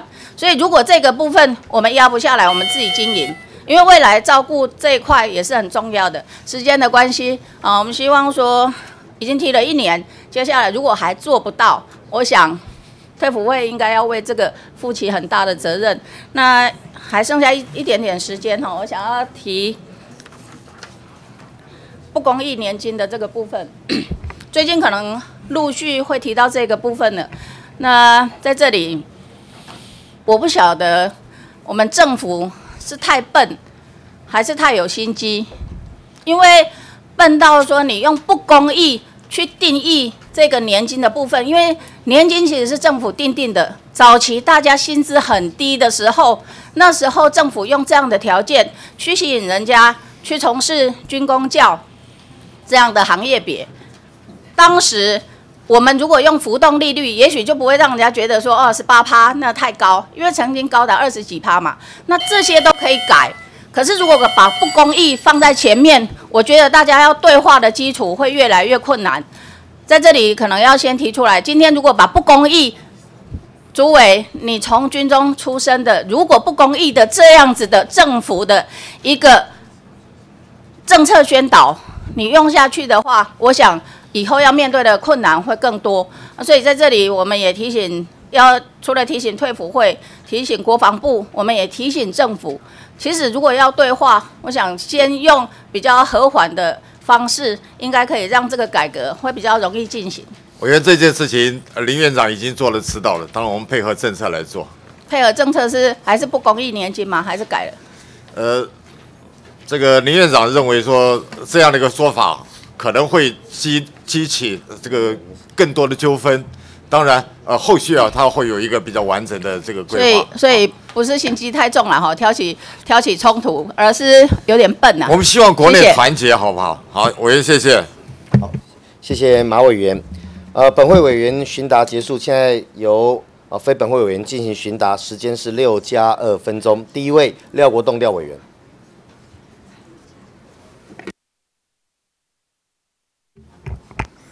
啊，主席有请主委好吗？来麻烦李主委。廖委员好。所以今天是转你们讲啊讲你们的转投资事业的哈，但是我要跟您讨论的是有关在啊、整个台湾地区原住民的传统领域土地内啊，属于您经管的一些土地的业务。是的有有有有哪一个处来来做做你的陪伴？不不不，呃我先问主委，不是你马上要讲。主委在第就是本届第一次的这个呃第一会期的时候啊，我曾经啊、做了一个非常重要的一个咨询，是关于退辅会农场经营位于原住民族地区或传统范围土地，在原住民族土地海域法尚未完成立法之前呢、当地部落或族人享有优先承租使用的一个咨询稿，而且同时禁止要求你们不可以去让售啊，你们经管的土地。那么一直到到法案，如果将来真的通过以后，呃，应该要不呃无偿的就拨拨给原民会，有这样的一个提案，我不晓得那个时候你有没有很注意在听了哈。然后在啊一百零六年度的总预算的朝野协商的时候，本席再次的提出有关原住民族的土地内，您经管的相关的土地的一个处理的一些呃意见。好，那个时候是这个是在行政院的这个呃提案里面哦，这个是形形同啊，就是视同啊，就是法律案。我只要念最后一段给你听。为了落实转型正义，实践蔡英文总统的政见，行政院应要求退辅会、经济部、财政部、国产署、农委会的林务局等机关，业管土地未处原住民族传统领域范围内者，应订定规范，将土地优先让租于当地原住民族人。倘若没有原住民族人承租，才可以将土地让租给一般人。此外，原住民族土地范围内公有土地禁止让售，以维护原住民族传统领域的完整。这个前后的这个提案呢，是一样的内容，只是层级不同。我第一次是跟您啊退辅会讲的，第二次提案是直接要求行政院要要求你们订定相关的规范。我不晓得你们有没有订定这样的相关的规范？呃，我们知道，我们知道这一这这一部分。当然，原住民土地的规划，呃，我们考量到原住民呃的权益哈。实际上，我们在这近十年之内哈，我们一共呃增加了呃十四笔，一共是一点四九公顷。那么这些呃都是在我们持续的规划范围之内。一点四九公顷多大？你知道吗？那个部长，呃，一点九四公顷，一点九就算两公顷好了。这个多大的立法院有多大的面积，你知道吗？报告委员，我大概分三部分跟您做个报告哈。第一部分啊，其实在早期的时候啊，真花边土地的时候，到九十六年前，我们已经拨出去给原住民的土地有一千三百零三公顷。那这样还这样比较好好听一点。对，然后呢，后续大概有后续就主委刚才跟报告有十四笔哈。那这是第一部分，第二个部分呢、我们依照原住民族工作保障权益的第十一条，只要任何我们原住民的乡镇里面，我们土地要去承租的时候，在同样条件下都是优先原住民。你是副主委还是处长？我是事业管理处长。OK，不要不用再讲这些。对这个是后续要要要要说的哈。那第三个，我跟你报告，就土海法整个通过之后哈，未来我们会主动莫配合。够讲啊啦，我来跟你莫问题够讲啊啦。谢谢。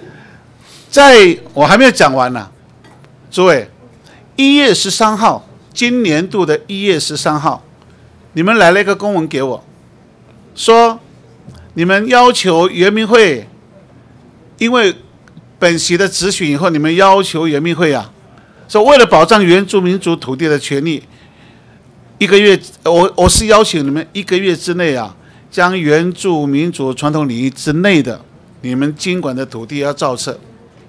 要造册，那原民会给你们了没有？还没有。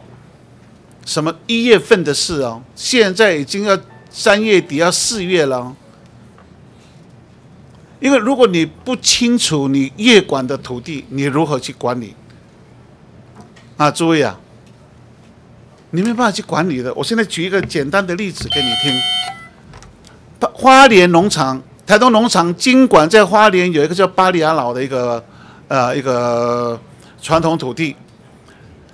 十年前，你们同意让原来居住在那个地方日本时代被赶走的这些原住民的阿美族啊，回去去整理那个土地，是你们的管理土地，是给原住民去经管，他们辛辛苦苦的去把那些硕石地啊处理完了，土地改良了以后呢，哇塞，今年呢、你们用公公告招标的方式啊，来，你们去竞标竞竞标吧。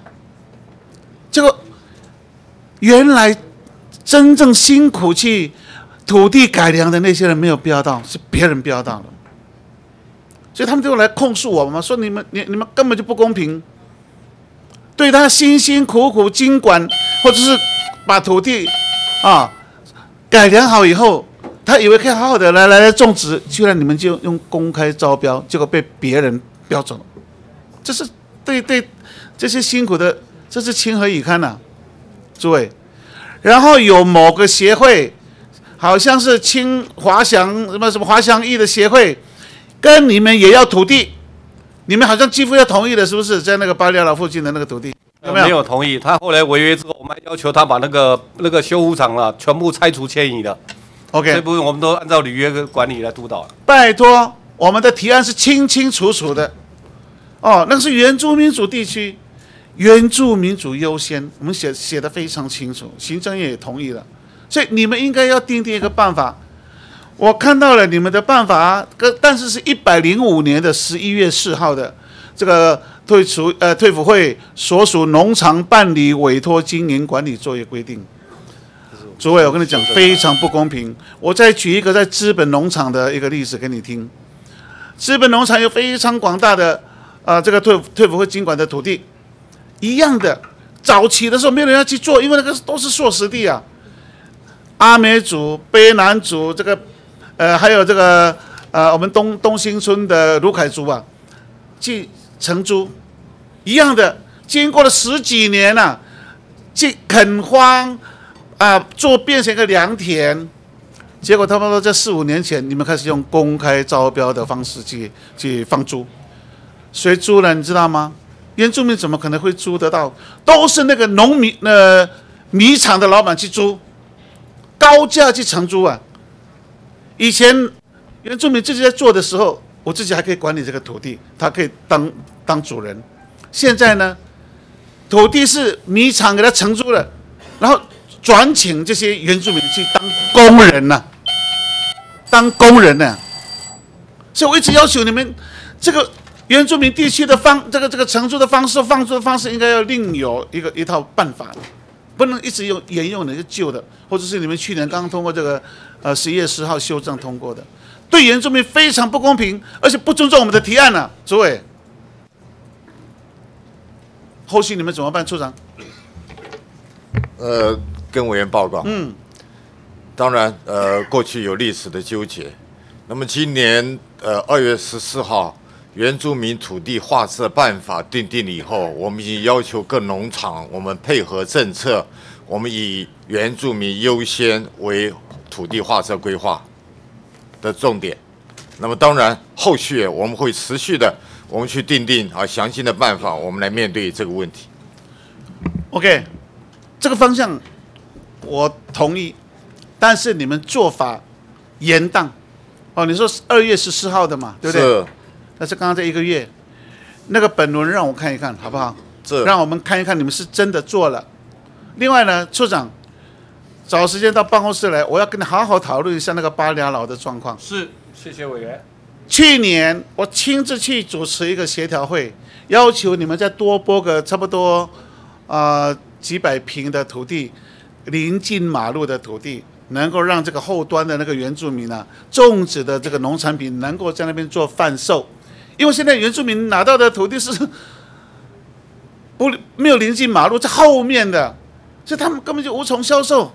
我说要求哎弄弄一块给他们，当时你们也同意了，那是省农农场的厂长也同意了，但是到现在为止都没有看到后后续的这个这个做法，完全没有，而且还要我我要求把那个土地给农改场啊，让农改场住在他们隔壁，还可以教导他们，我都同意了。结果现在农改场拿到了没有那个土地？你们拨给他们了没有？拿到了。然后该拨给我们的，你们你们就是不拨嘛。廖委员，这个部分我们是不是会后请退会向您说明一下 OK 好，谢谢委员。好，我们接下来进行询答的是何新存委员，一样是六加二分钟。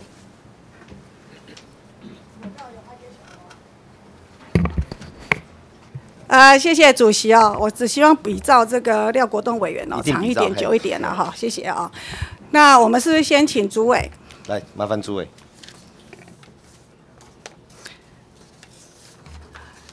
何委员好。主委好，我想今天我们要谈的是这个我们转投资事业的经营绩效跟人才嘛哦。是的。那请问主委，你认为转投资的这些公司所有的董事长、总经理，还有各个我们经营阶层的人才，绩效怎么样？呃，目前我们整体的经营成效呃属于尚可的阶段。尚可当然，我们还有在持续的强化中，是那人才的人才的聘任呢？人才的聘我任。我相信刚刚有很多委员应该都关心过这两个问题嘛，对不对？因为这是今天的专案报告的主题嘛，对不对？我们从去年九月份的时候，我们做了制度上的调整跟呃作为上的修正。那么尤其是在人才评选上是，那当然呃我们从专业上我们做呃这个最优先的考量。那么我们也有一个人才评选小组，这是结合产官学，我们在会见这个高阶经理人之前，都由这个评选小组做了完整的评估。那主委，在你这个新制度施行之后，有没有找不到人的问题？呃，目当然，我们已经有立竿见影的效果了，但是，所谓立竿见影的效果，是用白话文简单的、具体的讲给我听。呃，刚才有很多委员关心，我们有一个新任的国华这个总经理，他的就是从去年的副成长，然后今年是正成长的。OK，好，那我请教一下，你们的绩效的一个评比是如何的一个绩效评比？啊，这处长来讲好了啊。呃，谢谢委员哈，我们绩效针对这个那个专业经理人的绩效评比，我其实我们有个绩效评核的规定，然后依照这个绩效评核规定，我们每年啊会把他去年一个公司里面啊几个六个主要的构面，我们会拿出来评核。那如果说不达到七十分以上，我们就会解职的。那请问一下，我们这些转投资公司里面的专业经理人的比例占多少？专业经理人呢，现在我们总共有六位，大概三十三呃六分之一六分之一。是。所以，我们管理阶层里面的专业经理人才六位啊，才六分之一。这就是从海选的，从民间海选过来的专业经理人，大概有六位。其他的呢？其他的呃有多管道了，包括从农民资料库里面找到具有企业专才的人员，或者是本会里面常年担任了董监事，又有企业管理专长，或是国防部推荐有企业管理专长。那你刚刚讲的这个评比绩效，只有针对专业经理人？呃，针对针对我们刚刚的回答是对高阶经理人是。那那其他你刚刚说其他管道所只要只要到公司任职啊，通通要纳入这个的规范。哦，要讲清楚哦，要讲清楚哦。这个评鉴评比是所有全部都要，不是只有对专业经理人哦。呃，是的，是的。那我特别感兴趣的是哦，我们新制备的公司很多哦，这个我也觉得与有荣焉然后新制备我也叫核心存呐哈，天然气几乎都是新制备的公司哈。我可不可以请今天有到现场所有新制备的天然气公司的代表，可不可以上台一下？有没有？不是不是告诉有吗？请各天然气公司的那个董事长或总经理或代表人呢？今今天我看到，我想请教主委回答或处长回答了哈。这些天然气公司今天来呃这边呃练习的，除了董事长、总经理，有一些是副总、财务经理跟公务部经理，还有客服的经理。为为什么会这个只等参差不齐的人来备我们跟委员报告哈。呃，原本我们都是呃，至少是总经理以上，但是呢，因为瓦斯协会跟日本这个对口单位有一个交流规划，那么他们在三月二十一号的时候，我们有八位董事长、总经理参加这个交流规划，所以呢，我们就请这个公司派代理人。OK，好，谢谢主委的解释。这个如果是出国跟其他国家交流，我还可以接受了哈。那我请教一下，因为天然气公司有很多代表在这里哈，我只问一个。人民老百姓最关心的就是天然气哦，这个是民生的事业哦。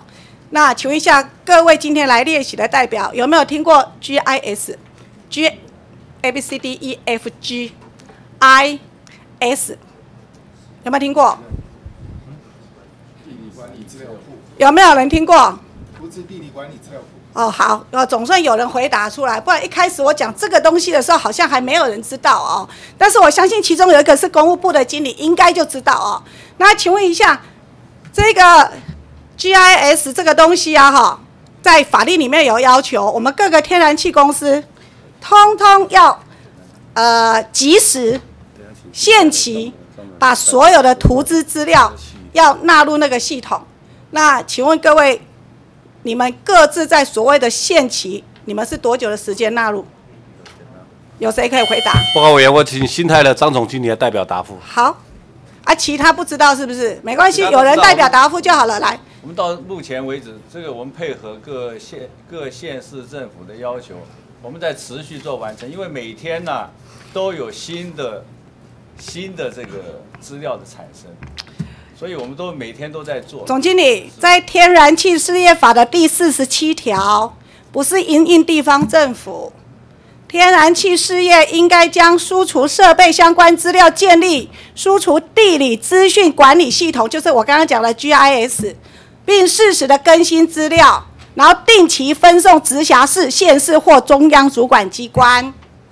那他在第二项里面规定。这样子的地理资讯系统的资料的格式、项目分送的机关跟期限，这个中央主管机关定之，也就是内政部有定的。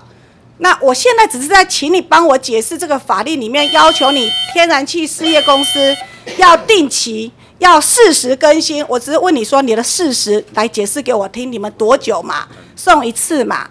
多久更新一次嘛？来，好，你说。我是新宁公司的总呃副总经理。我们现在是完全是公司按照天然气事业法，还有天然气输出设备地理管理资源来办的，因此公司所有的管线都已经到了 GIS 系统，包含抄表系统。啊，多久更新一次？多久送一次？每年更新。当管线长。每年的什么时候？每年三月底以前完成。另外，管线长度当超过二十公里的时候，三个月内必须完成更新。报告完毕。好，那请问一下，其他公司是不是如此这样子？是哈。那会后我会去查哦。好，我去查有没有像他刚刚讲的哦。好，每年三月底之前要更新，但是呢，一年更新一次，除非你有长度达二十公里以上，必须三个月内要更新。那中间还是有它的一个风险无法管理的一个期间。那如果遇到风险管理有问题的时候，该如何处理？比如说，我举个例子，啊，地方政府就要做下水道系统，啊，就去哦哦哦，啊，去欧等恁的天然气瓦斯管线。那你们的管线管理跟危机处理是如何做？谁可以回答我？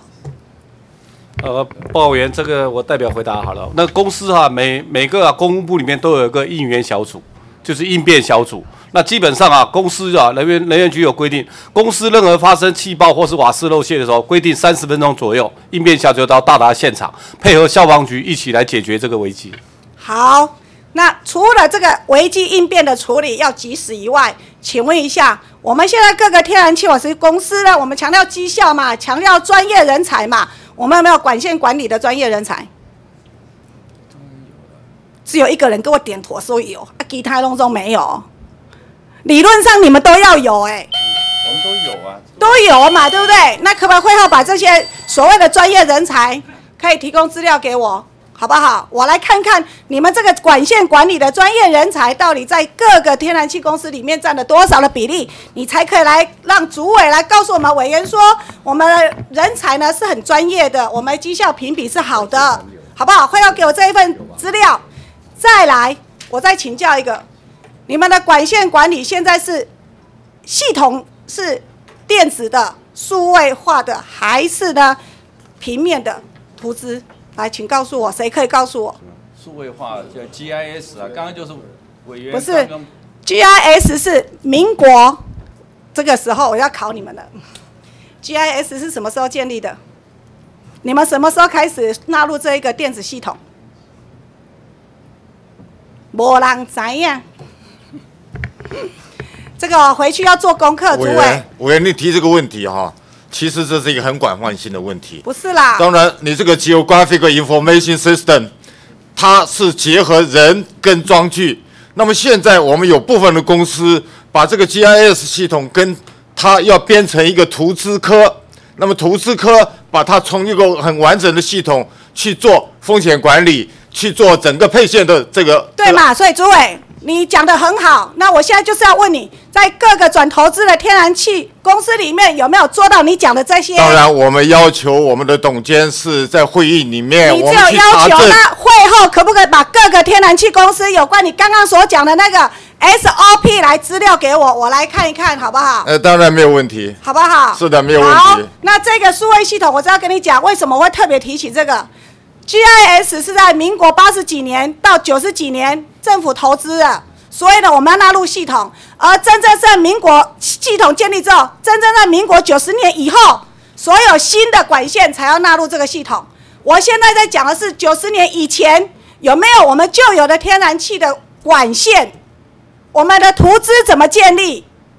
我相信你回去查一查。呃，我相信委员非常了解这里面都只有的安全平面的问题。是的，我现在就在讲，这个是民。生问题，我只是希望 push 这个，除了要专业，除了要要求绩效，请把这个民生安全的管线的管理问题纳入你们的绩效评比里面，好不好？是的，好不好？是的我没有我们不希望有任何的意外跟伤亡，我了解，这是安全的问题。按照这样的九方式十年以前的平面的、书面的图资资料系统，请想办法也把它建立整合进去你们的数位管理系统，可以吗？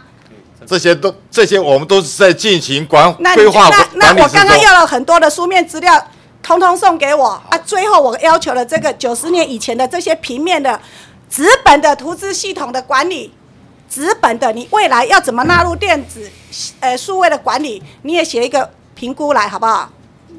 回答我好不好？可以，谢谢，我们共同来推动跟建立，因为呢，管线管理要做得好，民生安全才会好。谢谢。谢谢何委员哈，谢谢委员，这是我的学妹，非常优秀啊！你们要负的资料，麻烦本会也都要哈。对对，你会要一大，你会这么大叠。嘿好，我们接下来叶宜金委员，叶宜金委员，叶宜金委员，陈欧珀委员，陈欧珀委员，陈欧珀委员，郑运鹏委员，郑运鹏委员，郑运鹏委员，王惠美委员，王惠美委员，王惠美委员，徐永明委员，徐永明委员，徐永明委员，黄伟哲委员，黄伟哲委员，黄伟哲委员。郑天才委员，郑天才委员，林德福委员，林德福委员，林德福委员，蒋乃新委员，蒋乃新委员，蒋乃新委员，邱志伟委员，邱志伟委员，邱志伟委员，钟孔照委员，钟孔照委员，钟孔照委员，吴志阳委员，吴志阳委员，吴志阳委员，徐增卫委员，徐增卫委员，徐增卫委员，简东明委员，简东明委员，简东明委员，周成秀霞委员，周成秀霞委员，周成秀霞委员，罗明才委员，罗明才委员，罗明才委员，陈赖素梅委员，陈赖素梅委员，卢秀燕委员，卢秀燕委员，卢秀燕委员。好，我们今天呃，吕淑玲委员、陈明武委员、林俊宪委员有书面咨询列入记录及公报。那要回答的，除了特别要求的时间外，尽量以书面两周内答复。那今天会议到这边休息散会。